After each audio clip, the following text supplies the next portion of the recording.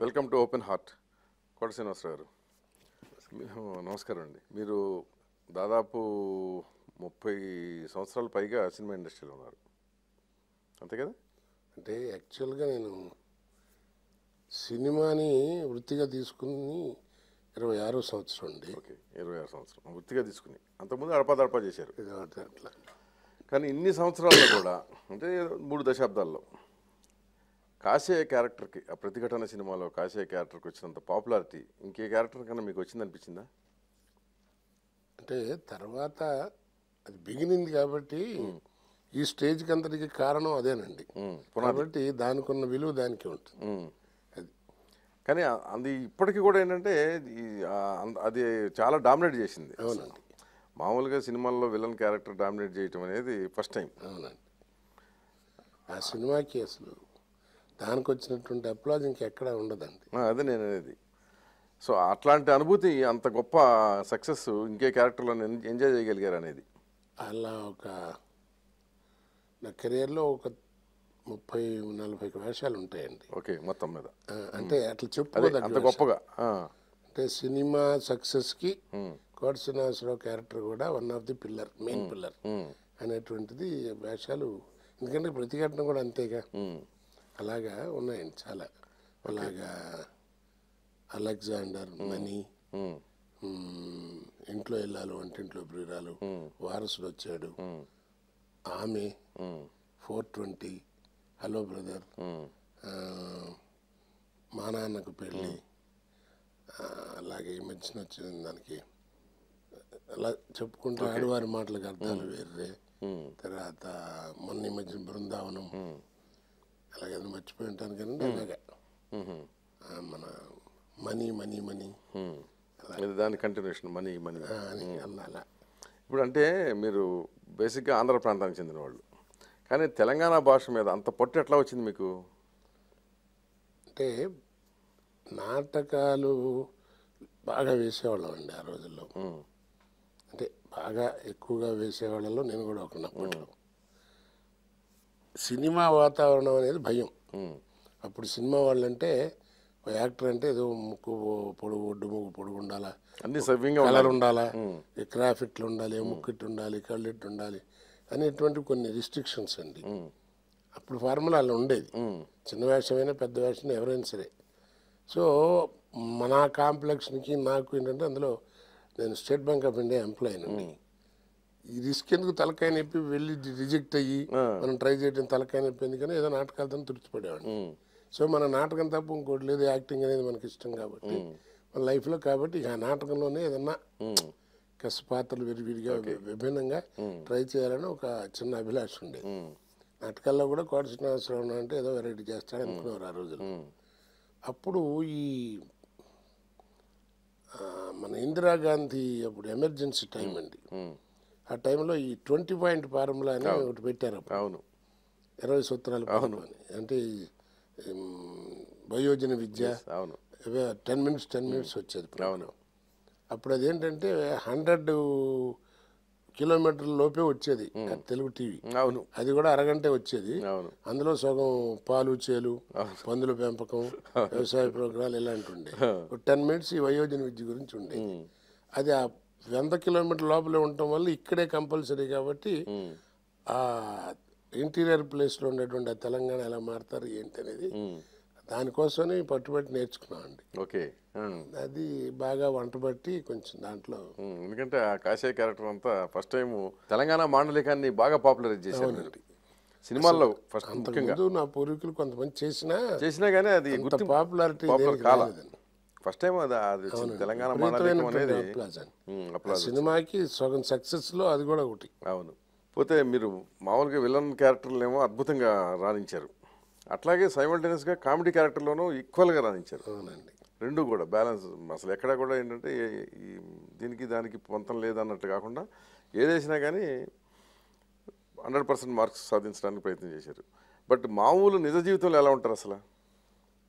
నీ జీవితం ఇప్పుడు మీతో ఉన్నట్టే ఉంటానని నాకేం పెద్ద ప్రత్యేకత ఉండదు అంటే విలనా కామెడీనా హీరోనా? నేను కాకపోతే నేనున్న చోటల్లా నేను నవ్వుతూ నలుగురు నవ్వించుకున్నట్టుగానే ఉంటానండి. అందువల్ల జనరల్గా నా కంపెనీ శ్రద్ధ లైక్ చేస్తారండి. ఎప్పుడైనా సెట్లో కూడా ఇవాళ కోట లేకపోతే బోరు కొడుతుందిరా అనేటువంటి పద్ధతి కూడా ఉంటుంది. బాగా సెటైర్లు వేస్తారా?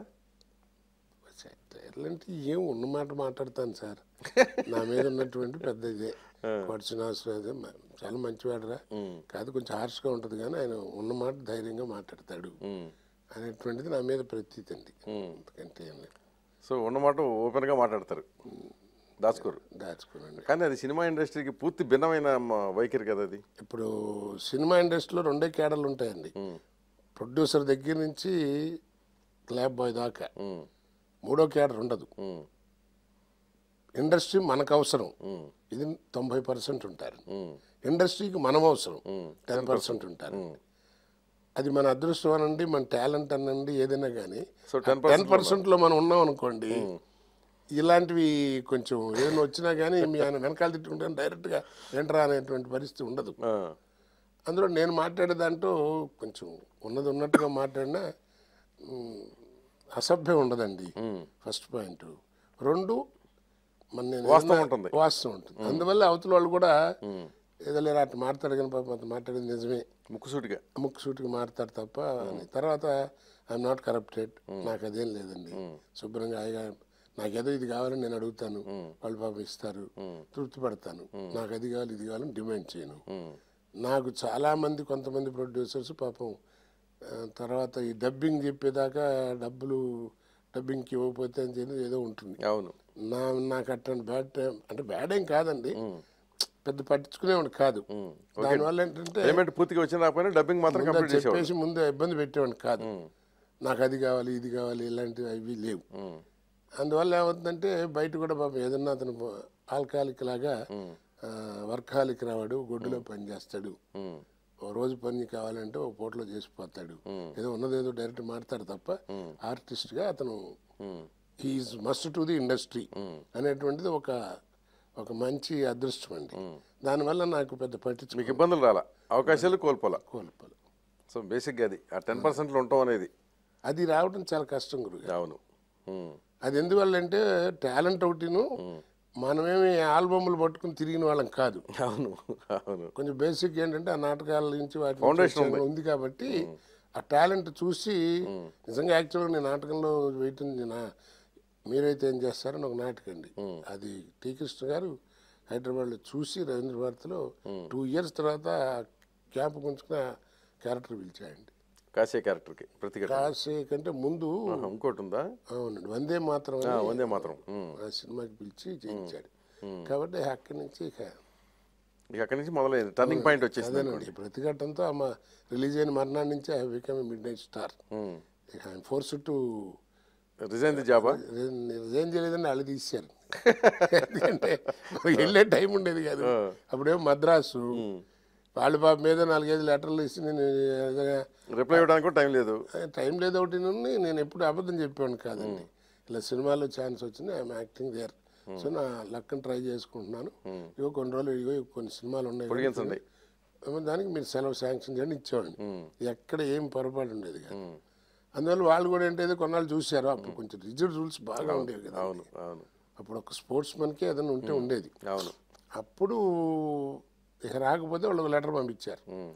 నాలుగు రోజుల లోపల నువ్వు రాకపోతే it is deemed that you are not interested అని. నేను ఆ లెటర్ వచ్చిన తర్వాత ఎనిమిది రోజులు చూసుకున్నాను నేను. అప్పటికి టైం అయిపోయింది. అరే భగవంతుడి లోపల గాడ్స్ క్రేస్ బాగా బిజీ అయిపోయావు అనుకోండి.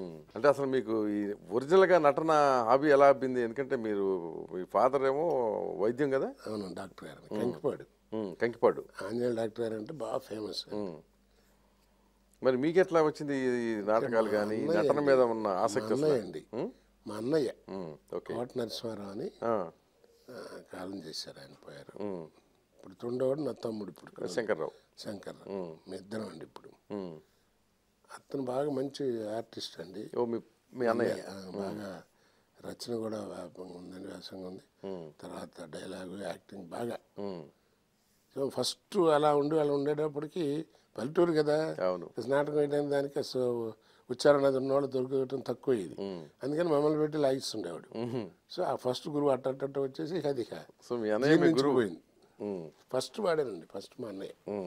ఎంతమంది అసలు మీరు పిల్లలు? నాకండి. మీరు మీరు ఎంతమంది పిల్లలు? అంటే మీ ముగ్గురు అందమ్మలు చెప్పారు అక్కచెల్లెలు నలుగురు అస్తులు అక్క చెల్లెళ్ళండి నలుగురు. నేను సెంటర్ అండి. ఇద్దరు అక్కలు ఇద్దరు అన్నయ్య ఇద్దరు తమ్ము ఇద్దరు చెల్లెళ్ళు.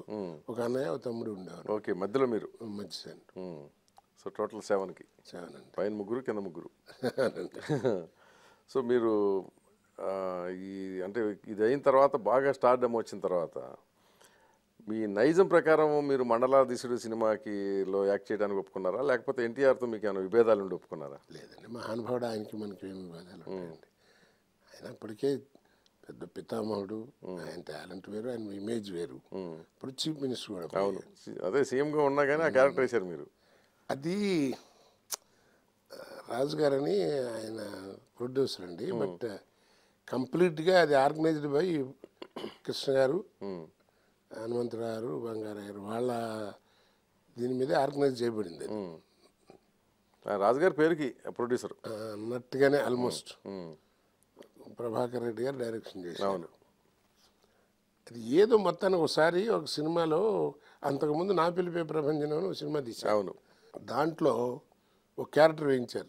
దాంట్లో చంద్రబాబు నాయుడు గారి వేషం నూతన ప్రసాద్ గారు వేశారు. కైకాల సత్యనారాయణ గారు ఏమో రామారావు వేషం వేశారు. అవును. నన్నేమో భూతాల రాజు గారు అనేవారు. ఆ వేషం వేయించారు. మనకి ఏమైనా తెలిసావు బాబు because I'm fresh to industry అండి. ప్లస్ పాలిటిక్స్ గురించి అంత అవగాహన అప్పుడు రాలా? అప్పుడు ఉద్యోగం చేసుకునే వాళ్ళం కదా మనకేం పెద్ద లేదు. బట్ మొదటి నుంచి కొంచెం నేను కాస్త బీజేపీకి బాగా నాకు ఇష్టమైందండి. అసలు ఏది ఈ సినిమాలోకి రాకముందు కూడా? రాకముందు కూడా ఆమె బాగా నాకు వాజ్పేయి గారు అంటే బాగా. అభిమానం. ఇష్టం అండి ప్రేమ కూడా అభిమానం. నాకు కొంచెం ఆల్మోస్ట్ కొన్ని బాగా నచ్చుతాయండి. అది నా పర్సనల్ అది. ఆ టైంలో ఉన్నప్పుడు అట్లా ఉండేది తప్ప నాకేం పెద్ద తెలిసేది కాదు. వీళ్ళు కూర్చోబెట్టి ఒక వారం రోజులు ఏమైనా నువ్వు చేస్తే బాగుంటుంది చేస్తే దాంట్లో రామారావు గారు మాట్లాడినట్టుగా నా పిలుపు మంజులో ఏదో ఒక- డైలాగ్ అన్నాను. అందరు నవ్వుకునేవారు అచ్చు రామారావు చేసినట్టుందా అని అన్నారు. సరే అయిపోయిన తర్వాత ఈ సినిమా తీసేప్పుడు అతనైతే కరెక్ట్ ఉంటారని పెట్టారు. పైగా వచ్చేప్పుడు ఈ సంవత్సరం సంవత్సరంలో. ఇక్కడికి వచ్చి హైదరాబాద్ కాదండి అప్పుడు ఇండస్ట్రీకి వచ్చి ఇండస్ట్రీకి వచ్చి ఏం చేయాలా ఏంటి అర్థం. ఇది కూర్చోబెట్టి నువ్వు వేయవా చాలా బాగుంటుంది మంచి పేరు వస్తుంది అది ఇది అంటే. అప్పటికేమో బ్యాంక్ వాళ్ళు వస్తావా పోతావా అని అడుగుతున్నారు. సరే నేను కూడా బాగా వద్దులేండి అంటూనే ఉన్నాను. కానీ ఒక చిన్నది పాయింట్లో కొంచెం మెత్తబడిపోయి చేశా. మహాత్మా గాంధీ గారు వేషం వేసామనుకోండి ఏదో గజేపటి చూసి మురిచిపోతారు ఎవరు పట్టించుకోరు. ఎందుకంటే మహానుభావుడు ఎప్పుడూ పోయారు కాబట్టి. అవును. ఇది రన్నింగ్ క్యారెక్టర్. రన్నింగ్ క్యారెక్టర్ ఆయన ముఖ్యమంత్రి. ముఖ్యమంత్రి అసలు పొద్దున తెలియని వాళ్ళు లేరు మహానుభావుడు. అవును. రామారావు రెడ్డి ఆయన లైవ్ క్యారెక్టర్. అవును. ఇక అది నా ఎవడికి దక్కుతుంది అది? సరే ఒక ఛాన్స్ తగ్గింది ఒకే సక్సెస్ అయ్యాం ఓకే. లేకపోతే మన ఉద్యోగం మనం పోదాం ఇట్లాంటి ఛాన్స్ రావడం కష్టం అండి. లైవ్ క్యారెక్టర్ మనం చేయటం అంటే విమర్శనాత్మకంగా వస్తున్నాయి ఇప్పుడు సినిమాలు. అవును. దాంట్లో మీరు అబ్జర్వ్ చేశారు లేదు ఆయన ఎక్కడా తిట్టడం బ్యాడ్ చేయటం లేదండి. ఆయన మీద వచ్చినటువంటి ఇన్సిడెంట్లు అది ఆయన ఎవరైనా తిరిగితే ఎలా తిడతాడు? అంతేగాని ఆయన తిడతా ఉండదు మీరు ఆ సినిమా చూస్తే. ఆయన తిట్టం ఉండదు కానీ ఆయన క్యారెక్టర్ అంతా అపాసపాలు చేసినట్టు ఉంటుంది. ఆయన మీద అప్పట్లో బోల్డ్ ఉన్నాయి కదా. ఏదో యంగ్ అమ్మాయిని ఏదో పెళ్ళి చేసుకు ఇట్లాంటివి ఏవో చాలా ఉన్నాయి. ఏదో డబ్బులు ఇవ్వడని డ్రైవర్లు ఇట్లాంటివన్నీ. అవి వాళ్ళకి పర్సనల్ కదా. అవును. అప్పుడు ఏంటంటే కృష్ణ గారు వాళ్ళు కొంచెం బాగా. కాంట్రవర్సీగా ఉంటూ మాట్లాడుకున్నారు ఉమ్. సరే ఇదో కానీ మనకేముంది వేసేవాడికి ఏమొస్తుందిలే ఉంటుందో లేకపోతే లేదు ఇండస్ట్రీలో అనుకుని. అప్పటికి నాకు ఈ రెండు గ్రూపులు ఇండస్ట్రీలో ఎట్లా ఉన్నారని అంత ఐడియా కూడా లేదండి. సరే ఛాన్స్ వచ్చింది కదా సరే అని చెప్పి చేసాను. చేసిన తర్వాత వన్ ఇయర్ బాగా ఇబ్బంది పడ్డానండి. ఒక గ్రూపు ఆల్మోస్ట్. బాయ్కట్ చేశారు మిమ్మల్ని ఐకార్డ్ అంటే ఆల్మోస్ట్ నువ్వు బెజార్లో కొట్టడం చేయటం. మెడ్రాస్ వచ్చి కాల్ చేసి. ఇంటి మీదకి వచ్చి. విజయవాడ రైల్వే స్టేషన్లో అయితే అసలు నన్ను కొట్టబోయారు కొట్టారు కొట్టపోవటం కదా. అప్పుడు ఖమ్మంలో షూటింగ్ చేస్తున్నాను ఊరేగింపు అని పిఎల్ నాన్న గారి డైరెక్షన్లో. ఖమ్మం ప్రొడ్యూసర్ గారు ఆయన కూడా. మెడ్రాస్ నుంచి వచ్చి వెళ్తే అప్పుడు బెజవాడలో అప్పటికి నా పెద్దమ్మాయికి మ్యారేజ్ చేసి అక్కడ కాపురం పెట్టింది. కొత్తగా కాపురం వచ్చిందని రేపు షూటింగ్ లేదురా అని నడిపియాలి ఉమ్. సరే బెజవాడ వెళ్ళి వస్తాను అమ్మాయి కాపురం వెళ్ళి మా ఆవిడ కూడా అక్కడ ఉంటే నడిచి వచ్చా. ఉమ్. నేను అప్పుడు గోల్కొండ ఎక్స్ప్రెస్ ఉండేదండి. పెట్టిన కొత్త. అవును. ఇటు వెళ్ళి ఆమె హైదరాబాద్ నుంచి వచ్చే గోల్కొండ నేను బెజవాడ దిగాను. విజయ హైదరాబాద్ వెళ్ళే గోల్కొండకి రామరావు వెళ్తున్నారు. దిగేటప్పటికి నేను చూస్తే అన్ని తెలుగుదేశం జెండాలు వ్యవహారం అంతా ఉంది. ఏంట్రా బాబు అనుకున్నా. సరే దిగిన తర్వాత చేయలేను కదా ఏం కాముగా నెమ్మదిగా ఒక పక్కన నడుచుకుంటాను అప్పుడు ఆయన ట్రైన్ అట్ట బయలుదేరి వెళ్ళిపోయింది. ఓ పదిహేను వందల మంది బాగా అభిమానులు ఆయన సెండాపు గిండాపు అందులో ఎవరో కావాలని చూసి కోటకాడ వచ్చాడు రా అన్నారు. అంతే. అక్కడి నుంచి ఎంటబడి కొడితే కింద పడి మీద పడి మొత్తానికి బయటకు వచ్చి స్టేషన్ ముందుకి రిక్షా ఎక్కి నుంచుని సేవ్ అయ్యారండి తప్పు కదా. తర్వాత చాలా మంది ఒక గ్రూప్ ఆఫ్ డైరెక్టర్లు రైటర్లు వాళ్ళందరూ కొంచెం నన్ను నా నవతల బొమ్మను రా చూడలేమని అది అని ఇది అని. కొంచెం బాగా అవమానించారు. బాగా అండి. తర్వాత పశ్చాత్తాపడ్డారేమన్నా? లేకపోతే నేనండి. కొంచెం బాధపడ్డ పాట వాస్తవం. బాధ అంటే వీళ్ళందరూ అన్నందుకు కాదు. నేను ఒప్పుకోవడం వల్లే కదా ఇది నేనది. ఆ క్యారెక్టర్ వేసినందుకు పశ్చాత్తాపడ్డారా? తర్వాత నేను ఏంటంటే తీసిన వాళ్ళు చేసిన వాళ్ళు బాగానే ఉంది రా నాయన. ఒక ఆర్టిస్ట్ నన్ను బట్టి ఎందుకు చేస్తారని అదొక కోపం ఉండేది. నేనేం తప్పు చేశానని? ఇప్పుడు ఇంత ఇది ఉన్న వాళ్ళు మరి అయితే ఎప్పుడు ప్రశ్నించలేదు ఈ మాట? ఎందుకు ప్రశ్న చాలాసార్లు అండి? ఉమ్, ఇప్పుడు ఎలా ఉంటుందంటే ఆయన ఏం బయట ఎక్కడ తీయలేదు కదా చాటుగా. ఓపెన్గా స్టూడియోలో తీస్తున్నారు. ఈ తిట్టే వాళ్ళందరూ చూస్తూనే ఉన్నారు. రోజు షూటింగ్కి వచ్చేవారు "అరే, వాళ్ళు చేస్తున్నాడు రా రామరారు మీద? అది అంటున్నారు. ఒక్కడైనా తీసేవాడు నీకు ఎందుకు ఆ సినిమా తీస్తున్నారు మీరు? కేకలేయాలిగా. ఎప్పుడు కేకలేయలే? రిలీజ్ అయిన తర్వాత మాత్రం ప్రతివాడు తిడతామని నాకు అక్కడ కోపం వచ్చింది? ఆర్టిస్ట్గా చేసాం పోనీ కావాలని చేశాడంటానుక నా మీద ఏం రుజువులు లేవు. బికాజ్ నేను ఐఎమ్ నాట్ ఇన్ పాలిటిక్స్ నాకు ఆయన కాంట్రవర్సీ ఎప్పుడు లేదు. మహానుభావుడిని ఎప్పుడు దండం పెట్టుకునే మనిషినే కానీ ఇండియన్ స్క్రీన్ మీద ఎవరు ఉన్నారండి అలాంటి వాడు. ఉమ్, అందంలో కానీ ఒక డైలాగ్ డిక్షన్లో కానీ విభిన్నమైన పాత్రలు చేయటం కానీ ఉమ్, అసలు నా ప్రకారం అయితే ఈ ఎనీ లాంగ్వేజ్ లేరండి. ఒక హీరో నెగిటివ్ క్యారెక్టర్లు కూడా వేసి అవును. మెప్పించగలిగినటువంటి ఆర్టిస్ట్ ఆయనకంటే ఇంకెవడు ఉంటాడు. ఏదో అట్లా అయిపోయి గొడవ. మొత్తానికి నెమ్మది నెమ్మదిగా సమసిపోయిందండి వన్ ఇయర్ తర్వాత ఇక నెమ్మదిగా మర్చిపోయారు. మర్చిపోవటము త్రివిక్రమరావు అని కాలం పోయారు ఉమ్, రౌడీ ఇన్స్పెక్టర్ అని బాలకృష్ణ గారి విజయ వైజాగ్లో షూటింగ్. ఆయన నెమ్మదిగా కాస్త బాలకృష్ణ గారికి వాళ్ళకి చెప్పి మంచి వేషండి కోట గారు ఇస్తే బాగుంటుంది మీకు ఏం అభ్యంతరం అని చెప్తే "ఆ, అదేంటండి నాకేం అభ్యంతరం ఆయన చేశాను. అక్కడి నుంచి సెట్ అయిపోయింది. కానీ ఎన్టీఆర్ని ఎప్పుడైనా కలిసారా మరి ఆ క్యారెక్టర్ వేసాక కలిశానండి. ఎంతకాలానికి కలిశారు సీఎం వెంటనే ఒక సంవత్సరం లోపే. ఇది మండలాధీశుడు అయిన తర్వాత అయిన తర్వాత ఆయన బ్రహ్మర్షి విశ్వామిత్ర అనే ఒక సినిమా అవును నటిస్తున్నారు ఇప్పుడు దాని డబ్బింగ్ చెప్పడానికి మెడ్రాస్ వచ్చారు. డబ్బింగ్ చెప్పి హైదరాబాద్ వచ్చేస్తున్నారు. సాయంకాలం పూట ఐదు ఐదున్నరకు అప్పుడు ఏదో ఎయిర్ బస్ అని ఫ్లైట్ ఉంది అవును. వస్తుంటే అక్కడ ఏదో మెడ్రాస్లో అవాళ ఏదో ప్రొడ్యూసర్ కౌన్సిల్ మీటింగ్ లాంటిది ఏదో జరిగితే మన హైదరాబాద్ ప్రొడ్యూసర్స్ కూడా చాలామంది వచ్చారండి. నేను మామూలుగా క్యూలో నుంచున్నా. ఉమ్, ఆయన అభిమానులు ఆయన ప్రొడ్యూసర్స్ వాళ్ళు ఉంటారు కదా వంది మావదులు అందరూ కలిసి ఆయన తీసుకొస్తున్నారు పైకి. అప్పుడు ఇంత సెక్యూరిటీ లేదు. మామూలుగా కార్డు తీసుకుని నుంచుని ఉన్నాం క్యూలో. ఆయన ఎంటర్ అయ్యారు. కొంతమందికి "ఓ, వచ్చే కోట చిన్న శ్రోతలకు వెళ్ళి వెళ్ళి వెళ్ళిపో ఆయన కనపడ్డామని చంపేస్తాడు. అని ఇక నన్ను బాగా ప్రెజర్ ఇచ్చారు. ఇదేరా ఛాన్స్ ఎంతకంటే మనకేం లేదనుకున్నా. ఎదురకుండా ఆయనకి కాస్త క్యాబ్ సూట్ కేసు చూస్తుండని వెళ్ళి డైరెక్ట్గా వెళ్ళి నమస్కారం సార్ అన్న ముందు గుర్తుపట్టల. అక్కడ గుర్తుపట్టా గుర్తుపట్టాం బ్రదర్. విన్నాం మీ గురించి. చాలా మంచి ఆర్టిస్ట్ అని గాడ్ బ్లెస్ యూ. మన నటనే మన భగవంతుని చూసారా నన్ను ఎంత వాడిని చేసింది. నటన చాలా పవిత్రమైంది. Keep good health God bless you అన్నాడు. భుజం ఇచ్చేసి పక్కన ట్యాప్ చేసి. అంతే ఆయన కాళ్ళదండం. కౌగిలించుకున్నారా వచ్చేసి వచ్చాను. అందరూ ఆశ్చర్యపోయారు అయిపోయారు అనుకున్నారు. అంతే మరి? చాలా కొంతమంది నన్ను పెద్ద దగ్గర వెళ్ళిపోయావు? ఏమవుద్దా? రోజు మీతో దిక్కుమాలి తిట్టి తినే బదులు. ఆయన మంచిది. వచ్చింది అనుకోండి సాజోడు బీకాడు అవును. అకౌంట్ క్లోజ్ కదా? క్లోజ్ అంతే. మనిషిని చంపేటువంటి యాటిట్యూడ్ కాదు. పెద్దవాడు పైగా కాషాయంలో ఉన్నారు. నేను ఒకసారి అకౌంట్ కూడా కదా అప్పటికి. ఆ దెబ్బతో ఇక అక్కడి నుంచి అసలు ఇక డైల్యూట్ అయిపోయింది. సో ఒక ఒక ఒక దాంతో అయిపోయింది. అంతే కదండి. దాసుడు చేసిన దండంతో ఉంటే ఊరుకుంటాడండి ఎందుకు? ఆయన నాకు తెలిసి చెప్పేవారు కూడా చాలా మంది కూడా ఆయన తట్టండి మనస్తత్వం కాదు అది ఉంటే మొగాని ఉంటుంది ఆ తర్వాత మామూలు అయిపోయింది ఓకే ఆ. కానీ ఆ తర్వాత మాత్రం అట్లా రాజకీయ క్యారెక్టర్లు వేయకూడదని నిర్ధారణకు వచ్చి ఉంటారుగా? లేదండి అలాంటిది ఇప్పుడు నేను వేసిన వాటిలో ఎక్కువ క్యారెక్టర్లే అంటే కానీ లైవ్ క్యారెక్టర్ని లైవ్ ఇంక అసలు. అదే లైవ్ క్యారెక్టర్ అదే నేను చెప్పేది. పొలిటికల్ క్యారెక్టర్ అయితే వేరు. అప్పటి నుంచి ఎప్పుడన్నా కొంతమంది అడుగుతుంటారండి బలాని వారి క్యారెక్టర్ చేయాలని. నుంచి రిస్ట్రిక్ట్ చేసాను చెప్పి అట్లా వద్దండి. సారీ. సారీ. ఏదైనా సెటైర్ డైలాగ్ చెప్పమని చెప్తాను. పొలిటికల్ క్యారెక్టర్లో కదండి. అదే అదే.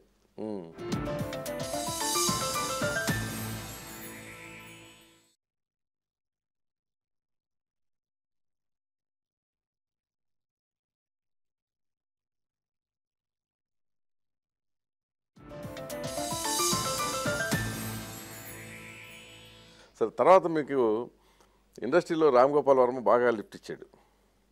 లిఫ్ట్ అంటే అదే లిఫ్ట్ ఇన్ ది సెన్స్ బాగా ఆయన సినిమాలన్నింటిలోనూ అన్నిట్లో పెట్టుకున్నారు బాగా రిలేషన్ సినిమాలు- బాగుండేది. రిలేషన్ బాగుండేది. తర్వాత ఎందుకు చెడిపోయిందండి? లేదండి అలాంటిది లేదు. షూర్ అదే తర్వాత మన హిందీ సినిమాలు కూడా అదే హిందీలో కూడా చేశారు బట్ ఆ తర్వాత సబ్సిక్వెంట్గా వచ్చినప్పుడు కొంచెం తేడా వచ్చింది అనేది తర్వాత గాయం చేశాను. అని చాలా సినిమాలు చేశానండి ఆయన బాంబే వెళ్ళిన తర్వాత తగ్గింది. అసలు తెలుగు సినిమాలే తగ్గినాయి. తర్వాత తర్వాత సర్కార్ చేసేప్పుడు మళ్ళీ తీసుకెళ్ళి కానీ మీ ఇద్దరికి అసోసియేషన్ ఏంటి బాగా అంత ఎందుకు యథార్థంగా లేదండి. ఈ లవ్స్ మీ ఆర్టిస్ట్గా అంతే.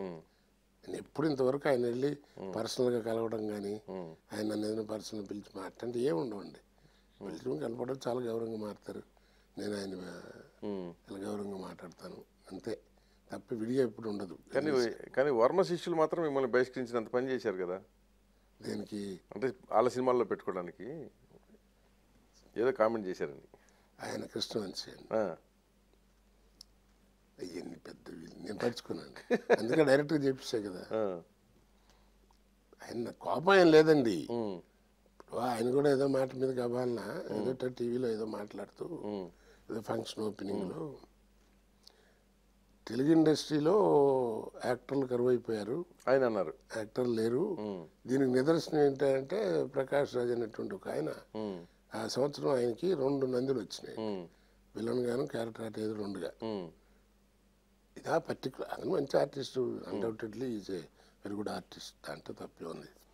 ఎవరు మన ప్రకాష్ బట్ యాక్సిడెంట్లుగా ఆ వెళ్ళిన సినిమాల్లో ఆ రెండు బహుమతులు ఒకటికి వచ్చినాయి. సో ఈ తెలుగులో ఆర్టిస్టులు లేరు.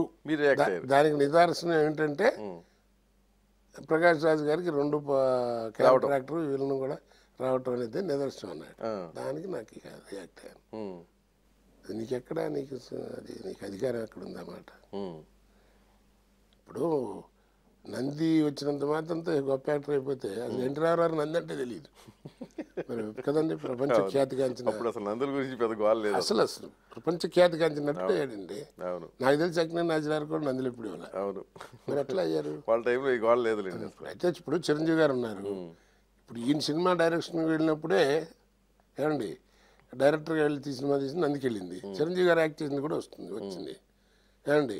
జనరల్గా గవర్నమెంట్ రూల్స్ అండ్ రెగ్యులేషన్స్ ప్రకారం ఏదైనా సామాజిక దృక్పథంతో ఏమండి? ఏదైనా ఒక నేషనల్ ఇంటిగ్రిటీ ఇలాంటి వాటి మీద ఏదైనా సినిమా తీస్తే దానికి ముందు నందిస్తారు. కొన్ని గైడ్ లైన్స్ ఉన్నాయి ఇప్పుడంటే ఏదో ప్రయోజనాత్మక సినిమాని సెపరేట్ చేసి కుటుంబ కథా చిత్రాన్ని అందరినీ సంతృప్తి అందరినీ సంతృప్తి పరచడానికి ఏదో అనుకుంటా మొత్తానికి అన్ని చోట్ల మీకు తెలియదు. దాంతో ఇది రావడంతో అప్పుడు నేను అడిగాను అదే ఇప్పుడు చిరంజీవి గారు మరి అంత మాస్ హీరో అతని సినిమా నందికి వెళ్ళింది. అని బెస్ట్ యాక్టర్ ఇవ్వాల అంటే చిరంజీవి యాక్టర్ కాదా? ఈ సినిమాకి ఇచ్చారు. మామూలు ఏదో ప్రయోజనాత్మక సినిమా ఏదో సోషల్ అవేర్నెస్ మీద దాని మీద తీసిన సినిమా. ఇంక ఇచ్చారంటే చిరంజీవి కాదా? ఇప్పుడు కృష్ణవంశీ గారు లాంటి వాళ్ళు వాళ్ళు లాంటి వాళ్ళు కూడా వాళ్ళు కూడా నందులకి వెళ్ళి మరి వాళ్ళకి ఇవ్వాల? మరి వాళ్ళు కాదని కాదు కదా. డైరెక్టర్ కాకుండా పోతాడు కదా పోడుగా? కాబట్టి అదే ఆ చిన్న మాట మీద నేను అది అంటాం ఆయన రియాక్ట్ ఆయన ఇంకో రకంగా ఏదో వర్షం మాట్లాడటం ఏదో bad fellow bad bad habits ఉన్నాయి. అందరూ తిడుతుంటారు. ఇలాంటివన్నీ మిమ్మల్ని. న్యాచురల్ కదండి. ఇవన్నీ పట్టించుకోకూడదు గురుగారు. అవతల వాడిని ఎక్కువ తిడుతున్నాడంటే మన దగ్గర ఏదో టాలెంట్ ఉందనా? ఉంటాడు ఆ? మీ- మన దగ్గర ఏదో టాలెంట్ ఉందనా? లేకపోతే అవతల వీకేనా అవతలోడికి ఒక ఈర్చిభావం అవ్వచ్చు అదే. చాలా గొప్ప అని చెప్పుకోవడం ఉందని. కవర్ చేసుకోవడానికి. తన తప్పుని ఏదో కవర్ చేసుకోవడం. ఇప్పుడు అతను మంచి డైరెక్టర్ మంచి సినిమాలు తీసాడు. ఆ తర్వాత తర్వాత తీసుకొచ్చి తర్వాత ఇప్పుడు రాఖీ అని సినిమా చేశాను. అప్పటి నుంచి మళ్ళీ మా దాంట్లో సో మళ్ళీ మీ ఇద్దరు కూడా సఖ్యత వచ్చేసింది. సఖ్యత అంటే ఏముంది సార్? ఇప్పుడు నా ఆస్తులు పోయినాయి అవునా కదా ఒక చిన్న అభిమానం. ఒక నటుడుగా తెలుగువాడిగా. ఒక అభిమానం. అంటే నేను కే కేజీ వాడిని అనుకోండి అంత మాట నేను పట్టించుకోను. I'm a post graduate in acting అవును. పీజీ లాంటి వాడిని అవును. మనం మామ ముందే పట్టుకుని నువ్వు టీవీలో పబ్లిక్గా ఉమ్, తెలుగు ఓ టీవీ తింటూ అంటే తెలుగు వాడు లేరంటే అది ఒక్కటే ఎంతకండి న్యాచురల్గా ఆత్మాభిమానం పనికి వస్తుంది దాంట్లో కొంచెం హార్ష్గా రిప్లై ఇవ్వడం. దానికి సర్దుకోవడం కోసం ఆయన ఇంకేదో రకరకాలుగా మాట. ఇవన్నీ మామూలు మీకు తెలియదు ఏముంది సార్? సినిమాల్లోనూ రాజకీయాల్లోనూ ద్వేషమే ఉంటుంది పర్మనెంట్గా. అంతే. సో ఇప్పుడు ఆ ప్రాసెస్లోనైనా? ప్రకాష్ రాజ్కి మీకు కూడా కొద్దిగా మధ్యలో మధ్యలో ఒకళ్ళ మీద ఒకళ్ళ కామెంట్లు? లేదు సార్ నేను ఎప్పుడు అట్లా చేసేవాడిని కదా. ఏదో డైరెక్ట్గానే అదే మాట్లాడాను డైరెక్ట్గానే. ఏముంది దాంట్లో తప్పే ఉంది. మీరు బయటపడ్డారు కదా పరభాష నటులకి ఇక్కడ దిక్కులేక అది చెప్పడం దాంట్లో తప్పని అతను ఒక్కడే కదగా వచ్చేది. అంటే విలన్ ముఖ్యంగా విలన్ క్యారెక్టర్ విషయం వచ్చినప్పుడు? ఏమిటి సార్ ఇప్పుడు? అంటే ఇందాక చెప్పానే ప్రకాష్ రాజ్ అనేటువంటి వాడు ఆర్టిస్ట్ కాదనట్టు అంటాం. కొద్దిగా గొప్ప. మంచి టాలెంట్ లేకపోతే ఇంత గుర్తింపు వస్తుంది ఇన్ని లాంగ్వేజ్లు ఎలా చేస్తాడు ఇంతమంది. నేను అనేది ఏంటంటే ఇప్పటికి కూడా ఈ పరభాష అన్నట్లు పరభాష టెక్నీషియన్స్. నేనేమంటానంటే ఒక ఇంపార్టెన్స్ ఉండి. అలాంటి వాటికి ఎవరన్నా తీసుకొచ్చారనుకోండి నేను రెస్పెక్ట్ చేస్తాను గౌరవిస్తాను. దొరకకపోతే? ఆ, దొరకకపోవడం కాదు ఒక ఇంపార్టెంట్ క్యారెక్టర్ అది ఎవరన్నా గుర్తు లేని వాళ్ళు కొత్తవాడు చేస్తే బాగుంటుంది అన్నారు అనుకోండి ఓకే. ఆ. తెచ్చావు అనుకో ఆ తెచ్చేది కూడా ఎవరిని తేవాలా? ఓ నజీరుద్దీన్ షాని తీసుకొచ్చాడు అనుకోండి ఓ నానా పాటేకర్ లాంటి వాళ్ళని తీసుకొచ్చాడు ఓ వాళ్ళు కూడా డెప్యూటెడ్ ఆర్టిస్ట్ అవును. ఓకే తీసుకొచ్చారా అని అనుకోవచ్చు. నువ్వు అసలు మనకంటే ఏమండి? అసలు టెన్ పర్సెంట్ కూడా మనతో పోటీ పడడానికి వీలు లేనటువంటి అర్హత లేనటువంటి నట నటనలో. నటనలో. అలాగే టెక్నీషియన్స్. పోటీ పడడానికి కూడా లేనటువంటి వాళ్ళని తీసుకొచ్చి ఏమండి మరి అట్లా చేస్తుంటే ఇక తెలుగు వాళ్ళు ఎట్ట బతుకుతారండి. కదా? అవును అదే. నేను అనేది అది. అదే నా కోపం ఇప్పటికి కూడా. Telugu industry Telugu cinema industry Telugu cinema కాకుండా పోతుంది. పోతుందండి. అసలు ఎట్లా ఇప్పుడు మనం తెర మీద తెర వెనక కూడా మీరు పరభాష వాళ్ళు ఉన్నారనేది. ఆ, పర్- పర్- ఉండకూడదని నేను అన్నండి. ఇప్పుడు ఏదైనా ఒక ఇంపార్టెంట్ ఇప్పుడు కృష్ణపాండం అయిన ఒక సినిమా వచ్చింది. మహానుభావుడు రామారావు గారు చేసిన సినిమా. దాంట్లో భీముడి క్యారెక్టర్ ఉదయ్ కుమార్ గారిని పెట్టారు. కన్నడ ఆయన. మరి దానికి సూట్గా ఉంది. రెండు పాటలు పెట్టారు ఆయనకి. అవును. ఏం చేశారు? అయిపోయింది. ఒక ఏదో ఒక టిపికల్గా బాగుంది రామారావు గారికి ఆపోజిట్ ఒక క్యారెక్టర్ చేయించారు ఒక పెద్ద ఆర్టిస్ట్ అని. అది ఓకే. అసలు నువ్వు అసలు అమ్మకి అక్కకి నాన్నకి బాబాయికి చెల్లెలికి. ఎప్పటికీ అసలు పనికి రాడంటే ఎట్లాగండి?